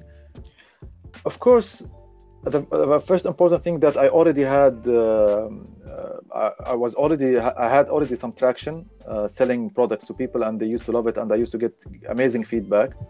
Uh, and this is very important because, okay, yes, of course, I had like a hunch that is telling me that you have to do it, you have to jump, but I'm not a fan of also uncalculated uh, risks and moves um, um, I don't support that at all, and that's why like I, lots of people used to ask me, uh, I have an idea, shall I quit my job now and start doing it? I was like, no, man, wait, wait. Yeah. Uh, build your concept, build your idea, use your salary, use your uh, income that you're getting to build on that idea, and then if you think it's viable and it's uh, it will generate income for you yes take that leap of faith. But uh, don't do it blindly by not even have by not even having any traction. Unless of course you have a big investment and you have some backing of course you can do that. But other than that you have to try it to make it work first. See this is uh, i think this is that we found where you and i are very very different. I'm i'm the face first into the concrete no parachute I just the the the biggest decisions of my life have been, just been like jumping out of a plane uh, hoping for the best. And luckily, up until now, I, I haven't smacked my face too hard on the concrete. But um, but for the most part, I I, I my uh, my like ethos, my my outlook is always to just if you plan too much, it'll it'll uh, it, for in my in my case anyway, it'll just uh, dilute the the situation. Whereas jumping out and and and just trying it all of a sudden. I don't condone. Don't quit your jobs. I'm not saying that. That's not what I'm saying, guys. If you're listening to this or watching this live, don't jump out of planes uh, without a parachute. But um, that's that's kind of been my uh, my thing. Even when it comes to music, when it came to to doing anything uh, on online, to all the stuff that I'm making, this podcast even. Uh, I Actually, just, I used to be like you exactly okay i was i was never the kind until i'm facing this problem i, I try to be a planner uh, but you know ruba she t- she taught me a lot uh, about that like she's the ultimate planner ever um, so even like it's so funny that when i used to travel with my friends and with the band members we i never planned a trip i don't know I, honestly I, I never used to know what planning means mm-hmm. So for us was like you know just buy the tickets and uh, just arrive to the destination and then do whatever. But then when I met Ruba, when we started traveling, uh, man, she, she, used to have uh, until this day when we travel, she has an Excel sheet oh, with yeah. with with timing and where we're going next and what we're doing and re- and she reach, researched the hell out of the internet and Google and check where we have to go and all the local things. And at, at, in the beginning, for me, this was super weird. You know, what the hell? Why are we doing this planning? But then uh, I discovered that this is the right way to do things, honestly, uh, because from my experience, I, I, tried both experiences, especially with travel. Uh, when you travel without a plan, and I tried this, uh, and Hani uh, knows about that if he's following.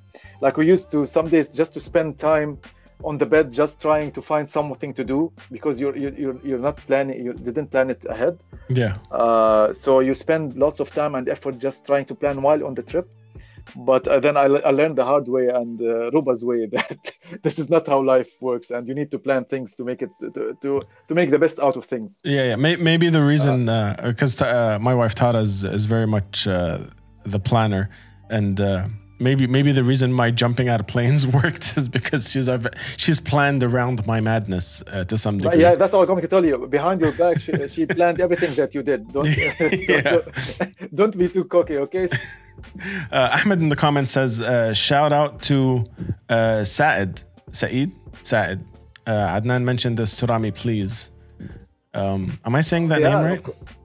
Yeah, yeah, Said, Said, Said. Said. Uh, he's one of the uh, employees at Toffimelt in Jordan now. So yes, shout out to Said. Shout out to Saad. And uh, speaking of uh, of that, uh, one of the employees of Toffimelt in Jordan, uh, you took. And Ahmad actually, he's also uh, the sales guy for Toffimelt in Jordan. A shout out to Ahmed and shout out to, to yeah, the entire Toffimelt crew because because um, for those that don't know or the, those that didn't um, tune in very early on, you said you moved to the Netherlands. So yeah. um, uh, Toffimelt still exists and is still operational in Jordan. uh, and uh, and you and uh, your wife have moved to, to the Netherlands. Tell me a little bit about about the move, having a, a company built uh, literally by your hands, the, the stuff that you used to make as artisanal handmade uh, candies and stuff like that, and and the whole move to to the Netherlands and how that worked for you. Um, actually, the way all yeah, all my life I wanted to move out of Jordan, uh, especially when I started the business because I believe that. Uh, um, you know, I, I, wanted to get to a bigger market and to uh, to a market where I can export my products uh, to, to, different places. You know, um, so um, what happened is uh, we were actively trying to get to uh, to Europe or to the States or Canada, um, and what happened is, is Ruba got a job uh, offer in the Netherlands uh, and it was like a, an amazing opportunity for us, uh, which we couldn't uh, refuse. Um, um, and it was actually a very challenging move because, as you said, the business I, I built it from scratch and I started all all of that, and it was really difficult to think about leaving it and uh, just you know get out and leave it and start something else somewhere else but uh, of course uh, with the help uh, the great help i got from my father because he's now um, managing it there in jordan he's helping me with that. And also the guys in in jordan saed and ahmed uh, they're helping me uh, with the operations and the sales. And of course i'm managing it from here remotely. Like every day uh, i have a call with my father i have a call with ahmed i have a call with everyone. And I, I still I didn't disconnect myself at all. Like I still get orders on my mobile, uh, you know, uh, here even in the Netherlands, and I then I uh, uh send it to the guys in Jordan. So, and still it's hard because also at the same time I'm trying to focus and build something here. So um, it's really hard. It's like I'm juggling between uh, different things. Um, but you have to do what you have to do you know uh, the business you can't just leave it and let it it won't run by itself uh, yeah. you have to keep on top of it. But um so is it is it yeah. difficult? Was it was it a a decision that weighed on you? Like leaving leaving jordan leaving your hometown you've i i from what i remember you've uh, you've lived there for most of your life. Yeah yeah i, I never actually uh, lived outside of jordan um, it was my, the first time in my life ever to live somewhere else than Jordan. Um, I, of course, I traveled so many times to Europe, and my dream was I wanted really to live in Europe because, uh, you know, uh, I really want to, wanted to move. But of course, it was really hard for uh, so many things. Of course, uh, the family. Um, and uh, the friends and all the memories that you have there and the business um, it's it's really hard. It's not it's, it's not an easy decision at all. But uh, you know, Ruba and I, and as I told you, Ruba being a, a very uh, organized uh, planner, uh, like we used to sit together and plan everything and think about everything and weigh the um, advantages and disadvantages and all of that. And then we found out that mathematically speaking and logically speaking, it makes more sense to um, to move to the Netherlands. Um, and the, the fact that I believe that uh, if I started the same business here in the Netherlands, uh, I'm sure that I, I, I, believe that it will be even better than Jordan, because the market here is because of the economy. You know, uh, of course, people in Jordan they're amazing, and uh, I had so many people supported me in an amazing way, of course. But the problem in Jordan, our region, is the economy. Yeah, uh, and especially when you when you make something which is very niche uh, it's not like a, you know a, a, cheap commodity that uh, you just find it uh, everywhere. So when you when you create a niche product, it's really hard to sell it and to gain lots of money from it in a very small market. And that's why I believe that it would do much better in uh, in an economy such as the EU. Yeah, yeah, absolutely. And um, the the do, do you feel like the building process uh, started again? Like, does it is it reminiscent of the time where you were first starting uh, Toffimelt and uh, trying things out and trying to get the equipment oh, together, yeah. or uh, it's it's still definitely, that same way, right? Definitely, because you know when you st- also like when I came here, also if you want to start if you want to open a shop immediately and you want to go all out, you need uh, millions, a hundred of thousands. uh, at least. So um, if you want to start something, you have to start it from scratch, uh, building it uh, in small steps. Uh, so yeah, you have to go through all that process of uh, knowing. Of course, the first thing you need to know is knowing the regulations, um, uh, knowing uh, how much will it cost you to start a company, start a business. Then um, to, to you have to understand the market and where you can sell your products, where you can't. Um, and luckily, the Netherlands is one of the easiest countries to start a business at. Uh, man, they make it so easy to start a business. They're so genius. Uh, like I, I've been living here for a year almost now, and I believe the Netherlands got to where it is now because they're so genius with money and the, the concept they're running at. We make it easy for businesses to start a business because we'll collect taxes from that business. Mm-hmm. So, so as much as you as business that can open if you uh, start and of course there are regulations but they made it so easy uh, you know man I, I, registered a company in one day. I want you just pay 50 euros and you have your company registration with you and you're ready to do business. Yeah. So but they're smart. They, they, they understand that in order to generate taxes and to generate income for the country you have to allow businesses to start and to be on track very fast and easily uh, which is a very cool thing because I also I heard like some other countries in the EU they're not like that. They are very uh, like in France. I have some friends in France. They say that it's very hard to start a business there. Yeah. Um, so yeah, and of course you need to build the connections, meet people, um, understand how everything works, know where you get the, your ingredients. Um, yeah, it's uh, it's it's a lot of work, but it's nice. Like uh, I have experience doing that. And uh, of course when we arrived here it was uh, 29th of december and corona wasn't still a thing. Yeah so, ahmed in the, in the comments just said and then covid happened. Yeah yeah. So like when when, when i arrived here i started you know full on meeting people going to seminars going to talk shows uh, all of these things, meeting people, building my network, and I did really great uh, job doing that uh, in a short period of time. And uh, people used to be shocked uh, when they know how much people I know. They were. Uh, it was only two months I've been here, but then Corona happened, and it everything like went back to the starting point to zero. Um, and now we're still struggling with the Corona situation, of course, like everywhere in the world. Yeah. Um, so hopefully things will uh, you know will go uh, good again. I don't know when, but we, we're waiting for that. But we we also, you know, I'm trying my best to keep it go keep it going. Yeah, yeah, absolutely. I think um, I I think this whole situation uh, leveled everyone. Like it completely.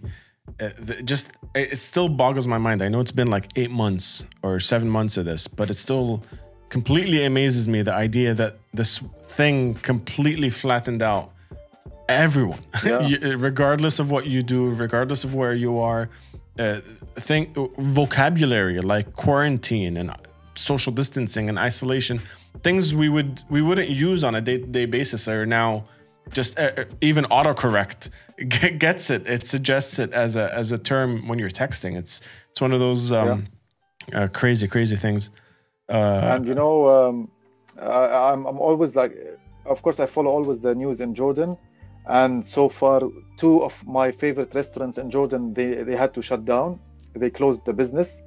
Uh, and you know it's heart wrenching to see this is happening to businesses uh, and it's happening of course all around the world. But you know some of the restaurants like we uh, and if Tara is still listening like we had so many nights after going out you know going to these to one of the restaurants and having a very late dinner we had really great memories there. And now I just received news today that they closed. So it's really sad uh, to see this is happening in the world. Uh, Tara in but, the comments uh, is saying Hattute. Is that it? Hattute, exactly. Hattute. Uh, Ahmed saying, uh, we'll make it, uh, bro, don't worry with uh, with the muscle emoji. Um, yeah. So, uh, Rami is a yeah, big fan of Sabr from Ahmed. Ah, ah Sabbar. Sabr, Sabbar yes, that's the one. Uh, Tara is also saying uh, your neighbors with uh, with a little upset emoji there. Oh yeah, oh we didn't. Uh, I didn't tell you this story. I have to take about the neighbor story. So okay, okay when we uh, uh, when we were seeing each other, well, uh, Ruba and I, of course, uh, I introduced her to Tariq and his wife Zoya, and uh, we used to hang out a lot together, and we used, of course, to go to their house uh, so many times, uh, and uh, and we, we know their building. You know, we, we used to go uh, there every day, like on weekends. So then, when we decided to get married, Ruba and I, uh, they were like, guys, please uh, find a place in our neighborhood. It would be super cool if you lived in the same neighborhood. So, um, so what happened is uh, our plan was to to find something to rent in that area, and then Tariq was like, listen, the owner of this building. Uh, the engineer, he's really good friends with my father, and he's planning to leave the country and uh, to leave to the states. And he, he wants to sell one of the apartments really badly, and he wants to sell it now in a huge discount. I was like, okay, but he was like, listen, it's underground, it's on the minus one level, so uh, you might not like it. I looked at Ruba, I was like, listen, let's go and check it out. Uh, so we went and checked it out. We loved it, and we talked to the guy, and we agreed with him, and it happened so fast. And Tariq became my neighbor in the same building, and we lived together there for three years. yeah. So And- it was like the f- funniest story ever, and how how it happened, man, it was crazy. Uh, for for those that don't know, Tariq Mirza is um, he's the one man band, and I can't pronounce the name of his band. It's Tlepsh, Tlepsh. Tlepsh, yes. It's T L E P S H. For those that want to check it out on on Bandcamp or YouTube and, uh, if and you're rest. uh, listening to uh, write what does it mean uh, on the chat so people will understand what it is. Yeah, um, uh, Tara, uh, g- give us a little uh, definition of, of what it means in uh, in the chat. But um, I was uh, I, I was I was actually he's one of the people that I want to have a conversation with on the podcast because I I used to give him a lot of shit for taking uh, way too long to actually release music, and um, I'm uh, like I was saying earlier, I'm the jump out of the plane. I'm the like you know, just put it out into the ether, put it out into the world kind of guy. And uh, Tara is a very meticulous re-record and make sure it mixes right and make sure it does. I have a funny story about that. Hit me. Listen, listen, it's so funny that Tariq, as you said, he, he, wanted things to be really, really, really perfect. So I got used to him like saying, listen, I have the sound that I want and it's ready. I'm going to release tomorrow. I was like, I, I used to look at him, Tariq, are you sure? And then once I challenged him, like, uh, I had a bet, like, listen, you, you today you're telling me that you're releasing tomorrow. but I'm sure that you're coming and telling me, oh, listen, I found a, a better guitar sound. I want to do it again. And actually, this this, this is what happened, and he kept doing that. I, uh, I I always say this on the podcast. There's this amazing talk by this guy called Jack Conte, who is the CEO of uh, of Patreon, uh, the the website Patreon, and uh, he has he has this amazing uh, talk, like a TED talk kind of thing, where he talks about art in terms of uh, publishing versus in terms of finishing. He says uh, songs, movies, videos, uh, podcasts, whatever you're thinking of your job isn't finishing the track. Your job is publishing. You, you especially in this day and age you are a, a, a music publisher. And if you don't put it out there if you wait five years to get the right guitar tone and then wait another 10 years to get the right cymbals you're not publishing enough for people to actually stay engaged.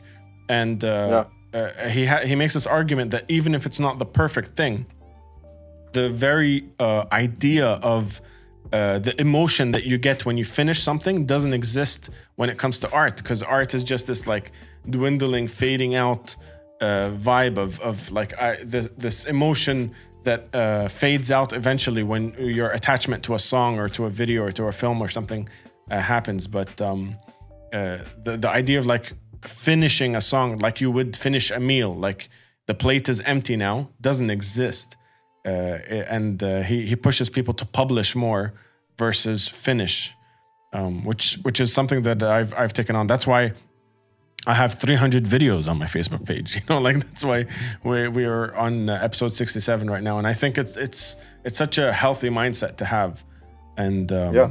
It- it's It's one of those things that completely exactly It's frequent. about frequency. And at the end of the day, if it's not, uh, you learn the more you publish. So if you've had, you know, uh, 10 albums in the last 10 years, uh, th- there'll be so much uh, more learning process in terms of the, the output versus having one album in the last 10 years?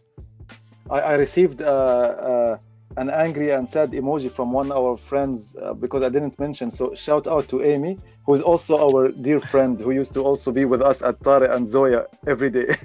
All right, shout out to Amy, and uh, and thank you guys for for tuning in. Um, uh, there, like I said in the very beginning of the show, there's a, we're on YouTube, we're on Twitch, and we're on Facebook right now.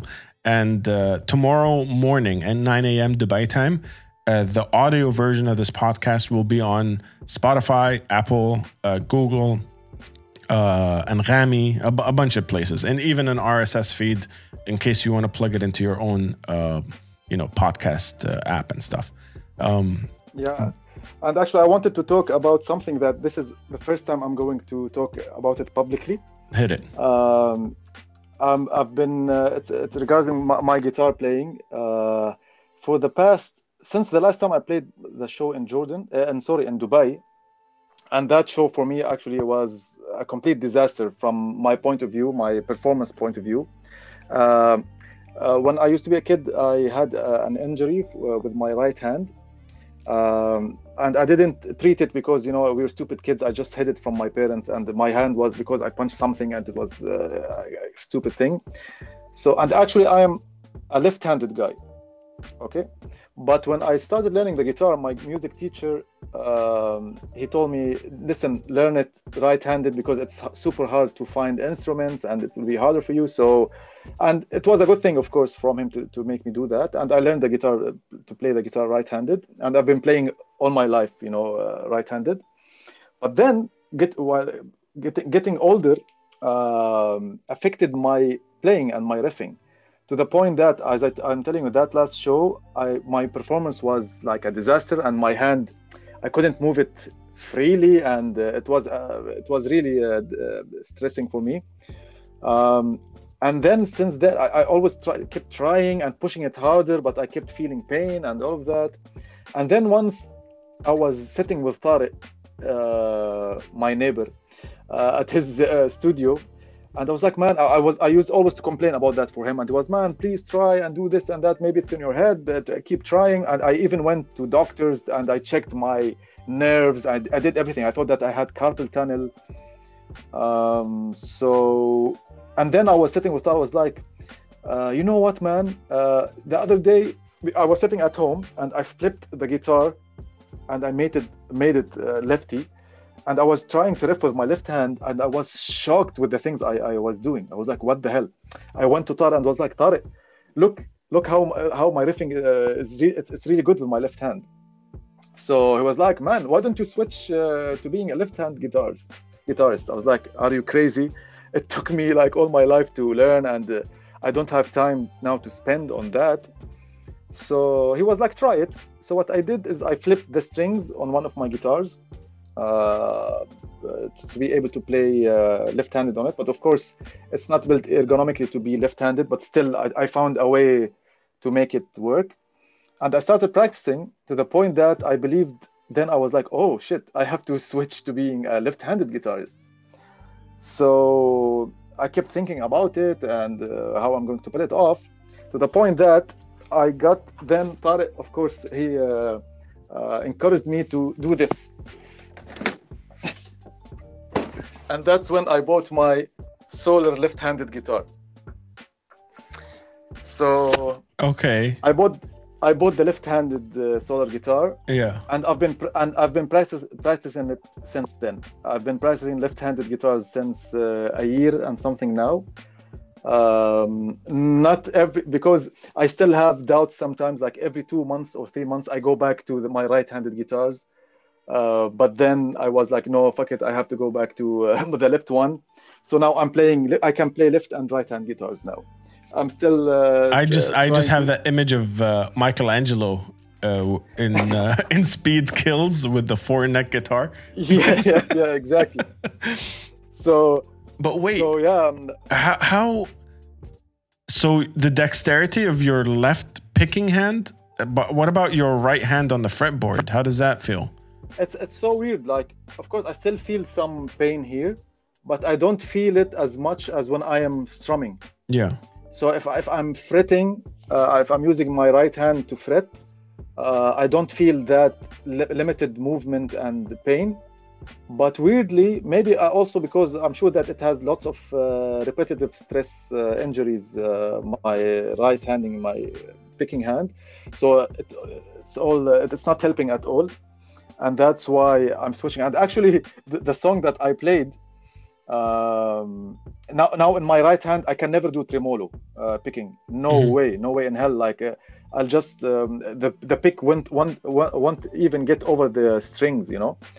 So what I had to do when I recorded that song, I recorded the whole song using my right hand, but the tremolo picking part I recorded it using my right hand, uh, uh, my left hand picking.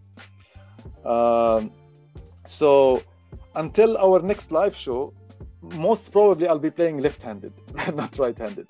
That's I find Uh, that super crazy. But you know the hardest thing is for me because my right-handed guitar is like a- part of me, especially uh, the Mayones guitar, uh, and because it was custom made for us, it was like an endorsement by Mayones, and it's it's, it's really a very fine instrument and expensive instrument. Uh, and you know, for me, it's, I had this emotional attachment to it, and this is like a huge part of me. Each two months, going back to trying to play right-handed, but like I learned um, there's something uh, which is called the sunk cost fallacy, uh, which they use a lot in business, uh, and you can also apply it to your life as well. Which means that if you sometimes when you spend lots of time on something, and if it's not working, but you keep spending time on it, and that's when it's a fallacy. And um, uh, and some lots of companies they do that. They keep doing the same same thing while not getting good results, and they don't drop it just because they spend so much time on it. So uh, if you think of it, of it this way, um, logically it makes more sense just to, even though that I've been the, playing the guitar since I was a kid, now it made more sense for me just to drop it and switch to left-handed. So is there uh is is there an expectation uh, like you said half of or parts of that song that we uh, we played earlier were right-handed and then you did some of the left hand. Is there is the rest of the album leaning more towards the left hand like this is where, Yeah, yeah. you're more comfortable now at this point? Yeah, and actually, do you remember like a, a while ago when I recorded, uh, I did this uh, jam with Tariq when I played uh, the song by uh, At the Gates, Cold. Yeah, I remember uh, Um, JM uh, mixed one of the songs that you guys were doing, I think. Yeah, J- JM mixed the one, uh, the uh, Megadeth one, but I did the um, the uh, At the Gates one. Yeah. and I played it right-handed. But you can't imagine how many times I had to repeat and practice it, and it's a very simple and easy riff. But I was struggling to do it, and for me, I, I actually I just released two the uh, these two tracks, just to make a point for myself that will it work ever work uh, ever work using my right hand or not, and I proved to myself that man, the amount of time I spent learning the song, uh, being able to play it with my right hand, it took so much time. While on the other hand, now with my left riffing hand, I'm able to do crazy thing, crazy Meshuggah riffing while uh, like I'm not doing anything, you know, because my left hand is my dominant hand. Uh, and it was so weird, like when I when I shifted to playing left, it's as if the the the rhythm is already built in my mind. Yeah. So I didn't face any problem, you know, doing these uh, rhythmic patterns with my left hand. But of, but of course, I face uh, face lots of problem with my fretting hand because uh, it takes a while until you get used to it. But uh, it, it's a fun journey. Uh, you live only once, so you have to try everything. It must have been. I can imagine it being a uh, also a scary uh, time, having to to think like, oh, is is the hand is a part of the way I play the instrument not not uh, feasible anymore? Because I could imagine like I've um, I've had a point in uh, in in the journey where I completely completely uh, lost my voice, completely fucked it up to a point where uh, it was it was pretty bad. Like it, you might not be able to to do those guttural vocals or or scream anymore. And um, I was thinking, God damn it! Like that must have been, uh, uh, uh, or, or that was for me uh, one of those things where it's just like, you know, did did I do something to ruin it? What am I gonna do after this? How do I? So how was that for you? Like, was it was it as scary as it was uh, for me, or or you, did did your brain just go into that uh, drive mode and went, okay, how do I fix it? No, no, no. I, I, I, as I'm telling you, like uh, I was struggling with that for years, and actually it was so frustrating because uh, for me guitar is a huge part of me and i reached the point that i didn't like to play the guitar anymore because i always felt frustrated. Like i Yeah. used to spend the first two hours just to try to you know to warm my hand and to, to be able to make it do, to do something. And after the and you know when you get older uh, and with lots of responsibilities and all that you don't have if, if, if, if i'm a kid and i don't have anything to do just playing the instrument maybe it will be a, an easy transition but knowing that i won't be able to give as much time as i did when i used to be a kid. Uh, and i know that it will be like a long journey to be able to play left-handed. So uh, yeah it was extremely scary. And um, but uh, the trigger was when i reached to a point that when i start looking at my guitar and not, and hate picking it up and play this for me was like oh shit i have to find something else to do because i really love the guitar and i want to be able to play freely again. So this is Yeah. why uh, and with push uh, with the push from Tariq, of course uh, uh, I did that and because lots of people other friends were like are you crazy what are you doing you're throwing all of these years in the garbage what are you doing uh, but yeah then I did it It uh, it feels. Uh, I, I might be doing a, a little bit of a deep dive. I might be like um, spacing out a little bit. But the last couple of years, with the move, uh, with the, the guitar flipping uh, to, to left, uh, uh, writing the new Bilocate album, there's there's been a lot of going back to the beginning.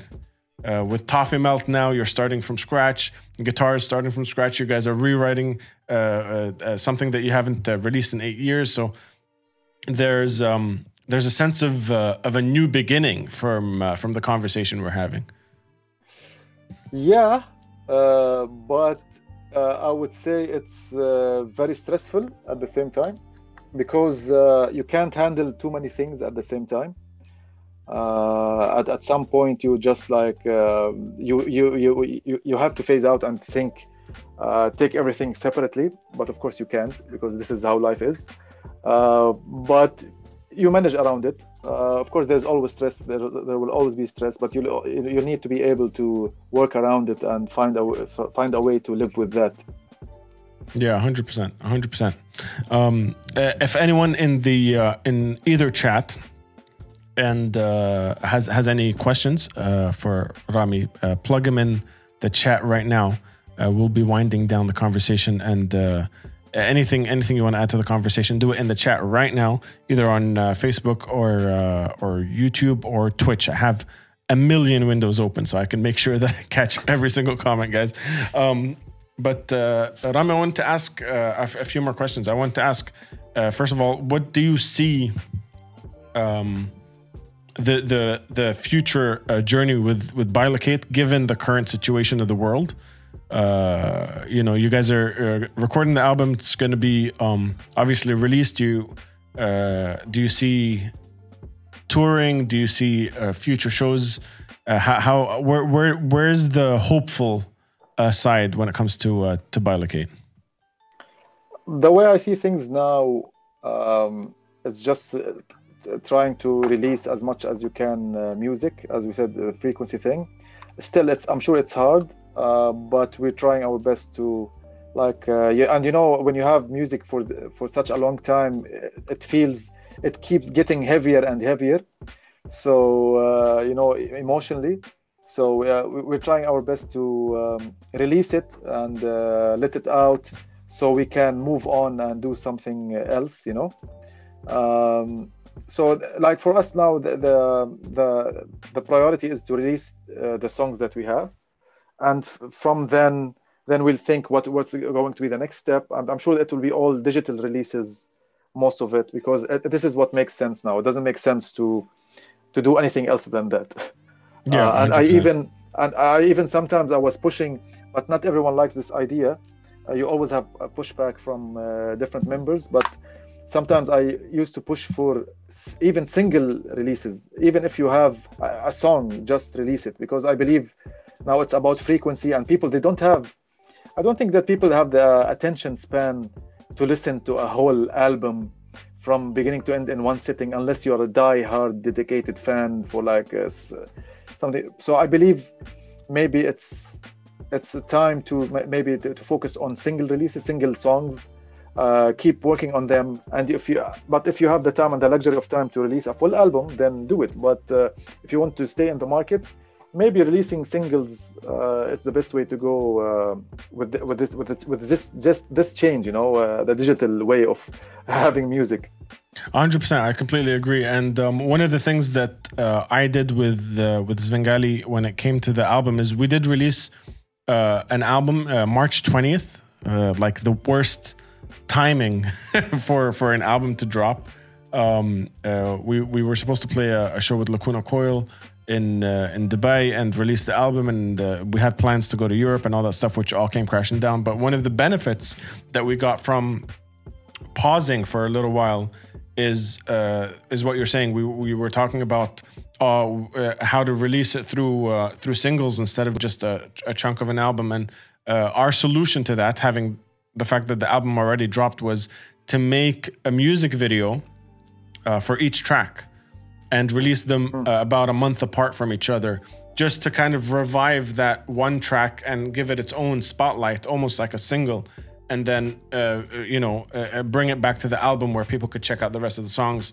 And uh, we did that uh, on a month basis and i think it really worked out. It really worked out in our favor because there are people that found the band through the one song that we released a music video for uh, and then went and checked out the rest of the album instead of like you were yeah. saying the diehard fan that would sit and listen to the full album and find that deep cut that uh, that's in there uh, uh, you know track 8 or something. And um, yeah I think singles is uh, is going to be the way forward uh, for for a lot of different bands and musicians for sure. Tara is asking do you think the metalheads I'm still not sure about that issue.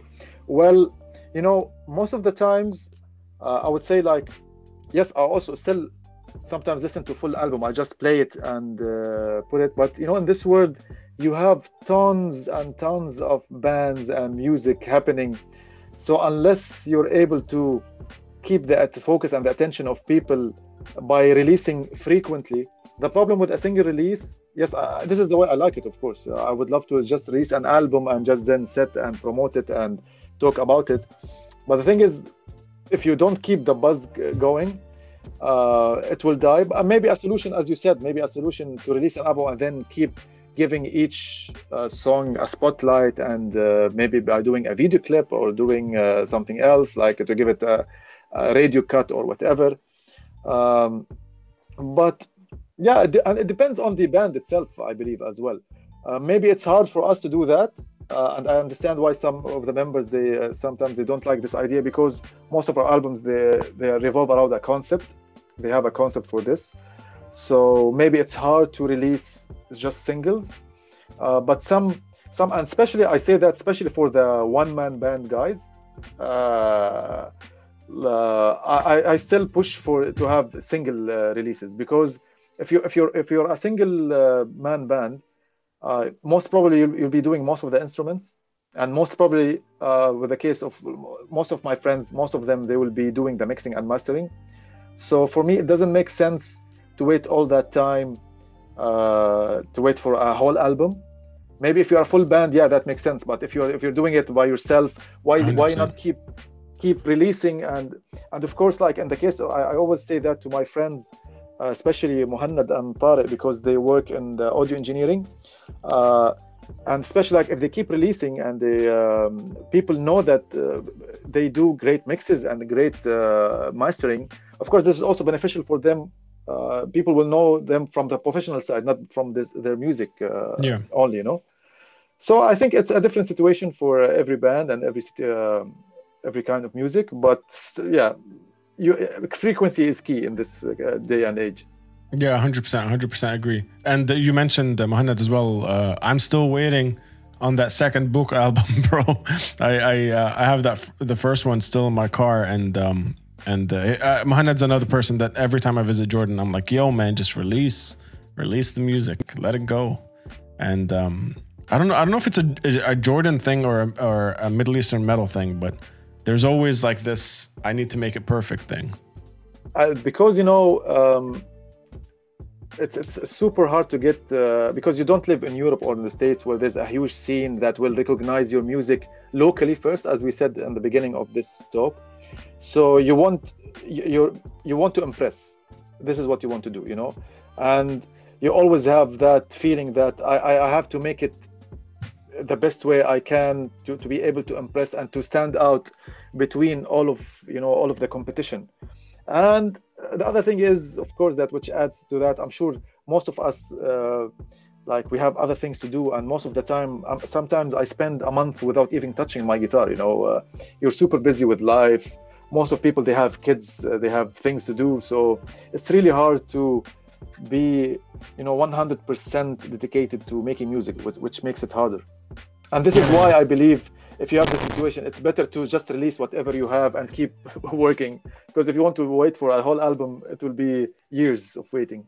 Yeah, uh, one of my favorite people uh, that releases music. It's uh, he he was in band, but he's not releasing anymore. You, you, your sound is breaking. I don't know if it's uh, from it's clipping.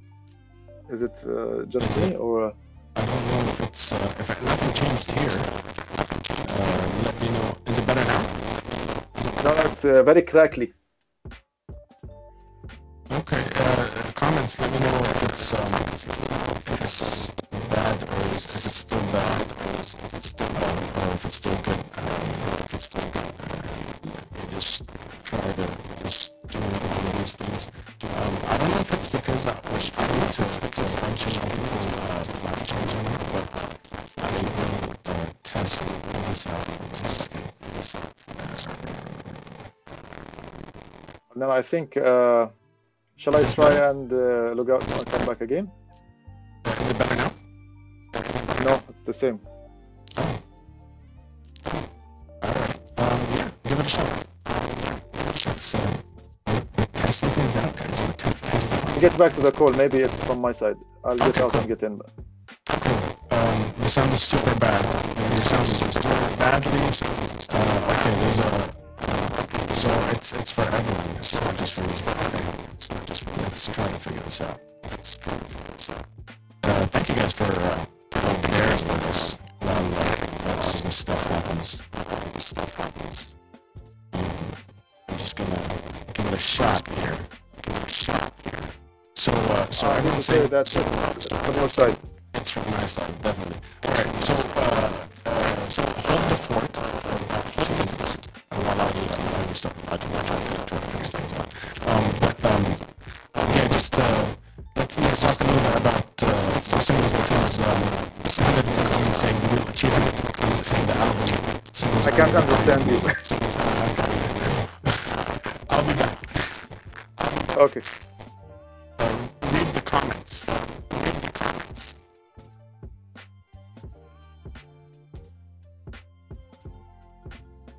What's other comments?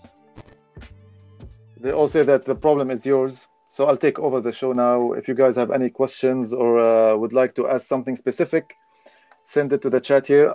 I'll try to catch all your questions. I don't know where I will be able to see them, but if you have any question, send this here.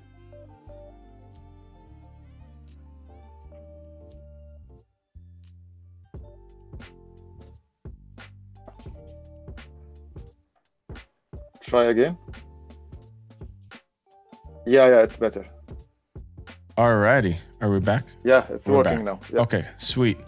Um, sorry about that, guys. Uh, if you're if you're tuning in live uh, and sat through that, um, my bad. Uh, like I said, I'm trying things out. We're trying all the things.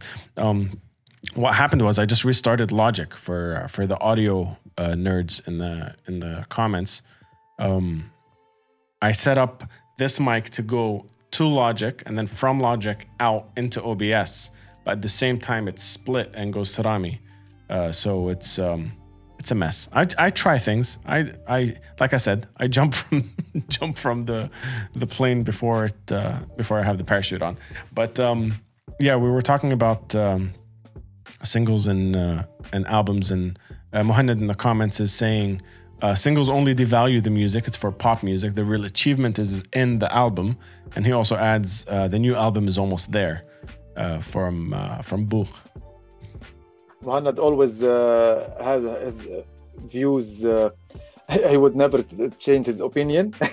so, but uh, I still believe it's not a genre specific thing. This is what I believe. Um, it's not like only for pop music. If you want to release like a single, you can still do it with metal. And there's lots of examples and uh, lots of bands that they did that, and they did it in a very successful way and in a very nice way.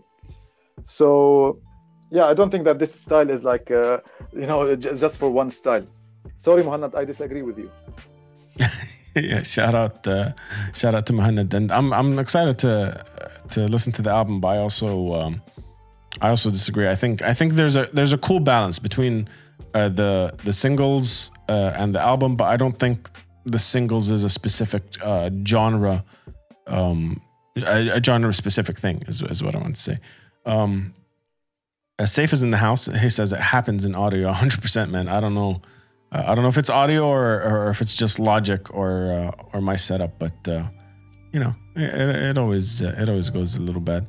Um, Ahmed saying a quick question: uh, Do you think that metal might be more known if it was more introduced into mashups? Um, I could take a little uh, lead on that. Uh, I think metal uh, would would be um, a, a, bigger genre, especially uh, if it was accepted more into pop culture, uh, and, and, not necessarily mashups. But like I remember in the '90s and early 2000s when it was cool to have a metal band uh, be the soundtrack to a movie, for example, where like you know Disturbed yeah. or um, Drowning Pool and that whole metalcore wave was happening. Uh, they were the Even soundtrack. Cannibal Corpse and uh, Ace Ventura. Cannibal Corpse and Ace Ventura, the soundtrack to those movies. Yeah. Uh, the the I remember um, Triple X with Vin Diesel. Uh, it was it was basically a metal album. It wasn't a, a soundtrack. Um, that that would be very beneficial for for metal in general. If you have an indie movie coming out, instead of just going to your uh, radio playlist, instead of uh, going going to the hits, uh, you know, get get a metal band to write something for it. Get um, you know an, an indie independent metal band, even a huge metal band. You know, Hatebreed uh, was a was a the soundtrack to a lot of these uh, uh, movies in the in the early 2000s, which I think is put put a lot of bands on the map, and then it stopped all of a sudden. Like no one wanted yeah. metal in their in their movies and stuff anymore because it wasn't it stopped being cool anymore. So yeah. Yeah, yeah, but um, but that was the uh, that was the gist of it, and uh, I don't know. What do you think, Rami? Um, well, you know, listen, I would love metal to be uh, like more accepted by more people uh, because it will give chance to because I love metal, you know, and uh, it's the yeah, it's one of the genres that I always listen to, um, and and I believe that if, if it had more chance uh, and if, if, you get, if you tell people what it really represents and uh, why we like it, uh, maybe they will accept it more. But the, the, thing is, it's a matter of taste at the end. Um, I, I don't like a specific kind of music because it's popular or if it's if it's underground. This is not why I like metal. Uh, I just like it because, for what it is, you know. And uh, even if it stays underground, if it stays uh, not really popular, I don't care about that. Uh, what I care about is to have good music and um, keep uh, and, and band they keep they're going you know they're not stopping which is really cool uh, and uh, and of course giving the modern technology and how e- easy it is now to record an album and to release an album it made it even you have uh, literally you know when i go to bandcamp and when i see the suggested bands I get lost, man. You know, it's it's like as if you're going into a Wikipedia page and keep lick, clicking on these small links, and yeah. you end up uh, in a rabbit hole. It's the yeah, exact yeah. Th- same thing uh, on Bandcamp, so which is cool. Uh, and as long as it, it's, it's happening this way, it's nice. But the problem with that is most of the time musicians they don't make money out of it, which is a sad thing, of course. Uh, and for me, I see uh, stupid music. I, I sometimes I will call it stupid because for me it's stupid. Uh, make uh, some people they're making millions out of it. I understand that this is the pop culture and this is like the general mass what they like, but still uh, it feels sad that uh, these kind of people they, they are able to make uh, money with that kind of music and but metalheads they can't. but it's a fact that I, I, don't think that it will be changing anytime soon unless See, we I... turn into a cyberpunk a, a cyberpunk uh, uh, time where people will love just metal and put metal everywhere. But uh, this is not happening anytime. Yeah. See, I uh, I come from a different background. I come from the the idea that I don't have a lot of attachment to the um, elitism or in metal. Like I don't care. Uh, about like um if you're a metalhead you have to sound this way or if you're a metalhead you have to look this way or uh, uh, you you can't say you're a metalhead if you don't like Slayer for you know what I mean all these little things oh yeah yeah of course I agree um, that that I think a lot of a lot of people uh, in the metal community spe- specifically in the Middle East have a lot of that um, very specific ideology of what a metal head and a metal band and a metal anything should look like which I believe uh, is the exact opposite of the entire ideology of metal. It's rebelling and it's not conforming and it's it's it's uh, it has a very um, anti-authoritarian attitude.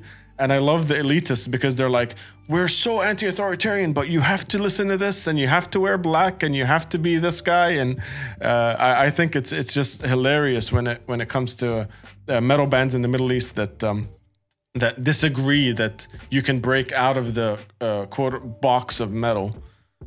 But you know, I, I, would disagree on something that this is not only in the Middle East. You can see this everywhere. Yeah, 100%. Uh, and, and, and, it makes sense because uh, we humans we are built in a way that we like to, to relate to a group. Uh, this is like uh, by evolution, and this is how we evolved to uh, to be who we are now. Uh, we evolved around, being in, in, small groups and the smaller the group is and the, small, the, the, the, more niche it is the more the connections you have. And this is why you see things like this. uh, and actually i've been really interested in uh, these kind of topics and i've been listening to lots of podcasts about uh, social uh, sciences and all of these things.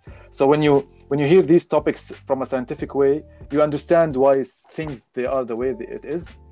Um, uh, and now I, I see it. I see like I know how, why people like to wear black when you're metalhead because you want to relate to that group, even though that maybe it doesn't mean uh, something. You know, there's no hidden meaning behind it, but still, be, being that metalhead and being having that look, it will make you more closer to the group that you belong to. You feel that you belong to, which is at the end, it, it's cool. Like this is uh, cool about metal, and, and, of course, whoever went to a metal festival, uh, you feel this feeling. You know, when you go to Wacken, when you went in 2015 um, it was one of my best experiences ever. It, it has 120,000 people, and you, you, don't know anyone, but you, you still feel that connection. Yeah. Because there is one one one thing that binds all of us. Even that met- uh, festival, sometimes you see music that you will never listen to in your whole life, you know. But still, it's all under the metal umbrella, and you feel that connection with that people, which makes these kind of things cool either it's metal or it's uh, hip hop or it's whatever it is you know it's, it's a group that you belong to and if you belong to that group and if you blend to that group you feel good about it and this is what's cool about these kind of things i remember there was a, a, documentary way back in the day um, by a guy called sam dunn from canada. Um, he, uh, yeah, he the, um, headbangers journey and uh, uh, and um, um global metal i think it was called. And but the first one headbangers journey uh, he he looked at um, metal from an anthropological uh, anthropology point of view uh, as a tribe which i thought was uh, was yeah. very cool. But um, what i was talking about that that that uh, in itself i'm 100% for it i 100% agree with i think the the stuff i'm talking about is the hierarchy of uh, metal within that community itself uh, which is uh, which is something that I, I've never understood. Even when I was a kid, even when I was the guy that thought, you know, to be a metalhead, you have to do certain things, or you have to listen to certain bands and stuff, or uh, you know, clean vocals is not metal. Oh. Uh, but uh, but now I'm just like I don't. It, it, doesn't make any sense to me because the whole the whole like I said the uh, you know the ethos of of metal and hardcore and punk is anti-authoritarian and stuff, and then we go and put rules on our own little subculture. It's it's such a strange uh, dichotomy that happens. Oh yeah, yeah, of course. Uh, and uh, you know, as I told you before, like um, you always have people that re- misrepresent something, and uh, you find this everywhere. Um, and that's why um, general people uh, literally like here in amps sometimes like i'm walking you can never tell if i didn't have the beard you would never even tell that i, I listen to metal music you know uh, uh, and I, I don't care about that yeah for me listening and doing something that i like it's just about me uh, enjoying it, uh, whatever it is, even if I wear black or, or I wear green or whatever. So um, at the end, you enjoy uh, the, what you do, and when you listen to music, you listen to it by yourself, unless you're at a festival nowadays. So nobody cares, you know. Yeah, hundred percent. Um, shout out to uh, Mike Angelo in the comments over on Facebook. He says, um, he says, shout out to Canada first of all. Thank you for tuning in from Canada. And yes, Sam Dunn was uh, was a Canadian filmmaker and uh, was is he still is by the way. He he didn't, didn't go anywhere. Uh, he, Mike Angelo also says Jim Carrey loves death metal. And yeah, uh, yeah I've I've heard that too. I, I saw this weird interview uh, on one of the talk shows like way back in the day where he um, he talks about Napalm Death and he does this really cool skit where he's like, imagine uh, the vocalist from Napalm Death, you know, calms down and uh, and wants to do a duet with with a with a female vocalist somewhere down the line, and he does this really amazing skit of like this uh, orchestral duet, uh, but with death metal vocals. It was really funny. Yeah. Uh, if you're listening to this, you should. Uh, Mike, thank you for being with us here. Shout out to Mike Angelo. Um, let's. Uh, there's a bunch of comments uh, in uh, over on YouTube. Maad is saying um, regarding the music influences of the new album, will it be death slash doom like sudden death syndrome, or more proggy slash melodic death uh, like summoning the bygones? Uh, it will be more. Uh, actually, it's it's funny, but it's a fusion between both. So we it has lots and heavy orchestration and lots of uh, nice uh, keyboard done by Wasim. Um, and but while also keeping that fast riffing and heavy riffing from summoning the bygones. but we also like we, we try our best to incorporate these slow you know sh- shift parts i don't know if they they call if you can call that a breakdown uh, i can uh, I, I, don't like to call it a breakdown. It's, it's a, a, a, breakdown. Of, uh, a, breakdown in my version of, of metal is uh, is what happens when the mosh pit opens up, but that's not what you're talking about. Yeah, yeah. so um, the change of parts, uh, we still have these, uh, you know, uh, changing from fast to aggressive to clean parts to uh, bass solos with just keys. So yeah, we're, we're trying to explore all of these aspects of our music. Yeah, very cool. I think I think the maturity of a band always ha- that always kind of uh, develops. I, I feel like uh, the the last album you do is a combination of all the stuff that you've released before instead of a copy of the the last one. Um, it, it always yeah. it always grows, especially when you take your time. Like you guys took eight years. I'm sure there's a bunch of stuff that you pulled uh, from before and added a bunch of new recipes to the mix. Yeah, yeah, exactly, exactly. Uh, we're very excited about it. So hopefully we'll be able to release it uh, very soon. Uh, Tara in the comments is saying, did you feel uh, your playing genre-wise changed while switching from your left hand to your right hand? That's a good question. Uh, actually, it's it's funny uh, because I was always a fan of, uh, you know, uh, black metal style riffing and tremolo picking, but I was never able, even when I was like in my best playing times, my hand was even by then it was giving me lots of limitations. So then I, I found myself playing lots of songs uh, black metal songs and doing the riffs that i always in my mind i was playing but i couldn't do with my right hand. Uh, and also uh, now I'm, I'm doubling down more on the uh, rhythmic uh, style of um, picking. Like lots of uh, iced earth and th- this kind of you know um, very rhythmic play style of playing. Um, for so yeah, I, I, see a change. I played I play different songs, but I, I keep also this is also I keep this consciously in my mind, which is something I already thought about. Uh, should I um, shift my playing style to something else now, since that I have the ability to play differently, or shall I keep true to my original way of playing and uh, the style I used to play? Uh, but then I realized that uh, it's not a choice that I have to make. It's not, uh, you know, white or black. Um, I can do both, and uh, I can enjoy, you know, playing the same thing that I used to play while having also now the ability to play uh, something different. Yeah, I think that's that's really crazy when you put it that way, because then you look back and you're like, have I been boxed in? Is is is it is it something that I was limited to, or is this a choice? That I made to make that kind Yeah. of, uh, you know, use these Yeah, exactly. specific techniques or not.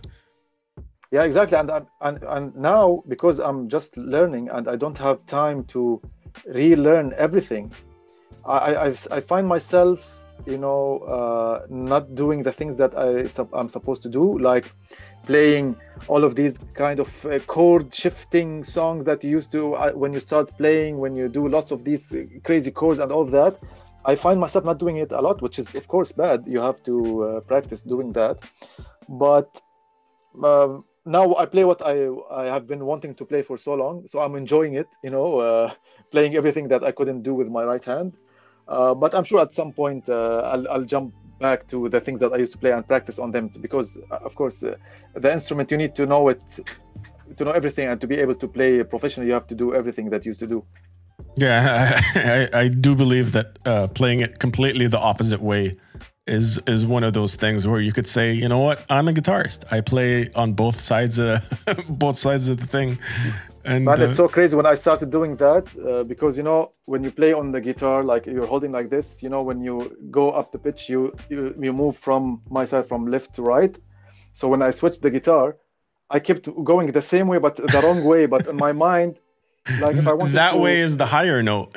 exactly. So I, I struggled when I started uh, start doing that. Uh, I kept going the other opposite way until I trained my brain that no, I have to go that way.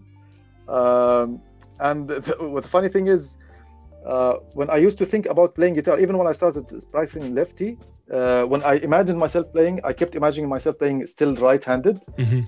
But just recently, two months ago, I think, when I start imagining myself, I caught myself imagining playing it lefty. So I think now I my brain did that. It uh, accepted shift. it finally. It accepted it, yeah. And uh, now when I imagine myself playing, I imagine it playing left-handed.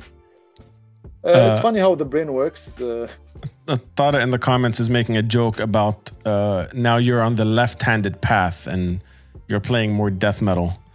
Uh, yeah, exactly. which is which is I'll go to hell faster now because It's- it's- I play the guitar lefty. It's the the most dad joke we've had all uh, all podcasts. Thanks for that, uh, Tariq. For Thank you, Tare, for the dad jokes. uh, safe in the comments saying super true on uh, metal elitism, Adnan. Uh, thank you, man. Um, safe is uh, for those that don't know, he's uh, he's in a metal band here called Metal Rust, and I'm uh, super stoked to hear uh, what you guys have been recording, man. And um, very excited to have you on the show very soon. Um, yeah, metal elitism is is one of those things that I love to talk about, just because it it bothers the people that I talk about. it's uh, it's I like I like to uh, to annoy the people that uh, that take it very seriously. Um, Ahmed saying, I remember when oh I can't say that word Ahmed on the uh, on the stream, but I remember when a certain group uh, of uh, I can't say any of the words. Drop that, Ahmed. Uh, don't talk about these topics, please. I'm sorry, Next. Ahmed. I can't. I can't read. Uh, I can't read that comment. But um, uh, Muad is saying you should all check Sam Dunn's channel. I guess it's called Banger TV. Yes, absolutely. I completely agree. Um, I'm also a patron on uh, on Banger TV. I uh, I try to support the the channel because they're they're doing it all independent and it's a great uh, channel for for metal in general. Um, yeah. Uh, so I have one last question for you, Rami, before before I let you go. And uh, thank you so much for uh, for the time. I know it's uh, we've been at it for two hours and a half, bro. It's okay, man. Uh, I, I enjoyed every uh, minute of it. So It's it's okay. been it's been absolute an absolute pleasure to uh, to dig deeper with you. But um, I have I have one last last question. I, I love to end uh, each episode with this question, and um, a lot of people take it uh, a lot of different directions. But if you had a time machine and um, you were to go back to to young Rami Haikal just before uh, you know Bilocate kicked off, just before uh, uh, Toffimelt was was a thing, before you moved to the Netherlands, um, before you experienced everything you experienced, and you were to go back in time and give young Rami uh, one piece of advice, uh, what would that piece of advice be? Hmm, tricky question. So that advice would be uh, to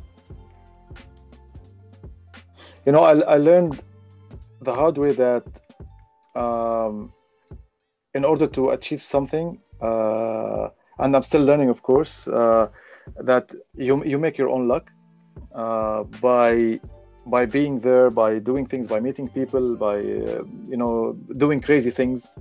Um, so I would go back to myself and say that uh, to, to, to teach myself that on an early age because it really makes a huge difference. Um, like I started doing that uh, not very like not very long time ago when I understood that concept. And in order to get the things you want, you have to make yourself available.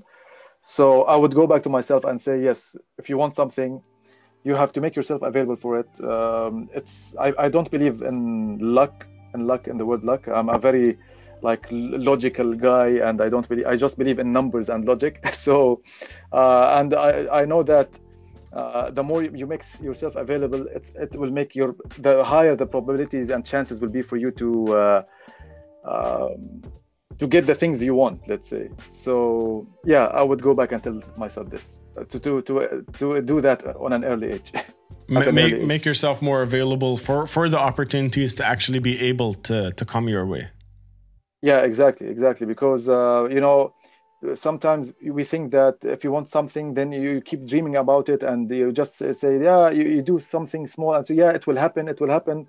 But unless you really make yourself uh, put yourself there uh, in front of the people that you want them to uh, even recognize your work, if, even if it's work, personal life, uh, band, whatever it is, uh, unless you make yourself there in front of people no one will know about you. So and and this is how this is why this is luck for me.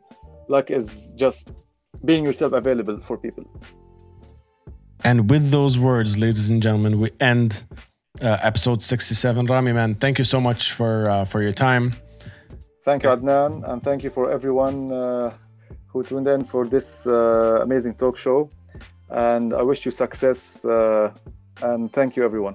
Thank you, my dude. Thank you to everyone that tuned in live. And uh, if you didn't tune in live, if you're rewatching this either on YouTube, Twitch, or Facebook, or listening to the audio over on Spotify or Apple Podcasts or any of that stuff, um, uh, know that uh, that I appreciate you and um, just send us a, send us a little message. If you've made it this far into the podcast, send us a little message on Facebook or Instagram. Uh, let us know what you think of the show, and um, yeah, make sure you follow the pages. Uh, there's an Instagram page and all that stuff uh, that keeps you up to date on the guests coming up. It's, oh, this is the first time that we don't hit the outro right as you said hit the outro. because I, I was talking uh, while you were still talking, so we have to give it uh, a proper G- give it give it a proper farewell. Let's do it. The outro, Adnan.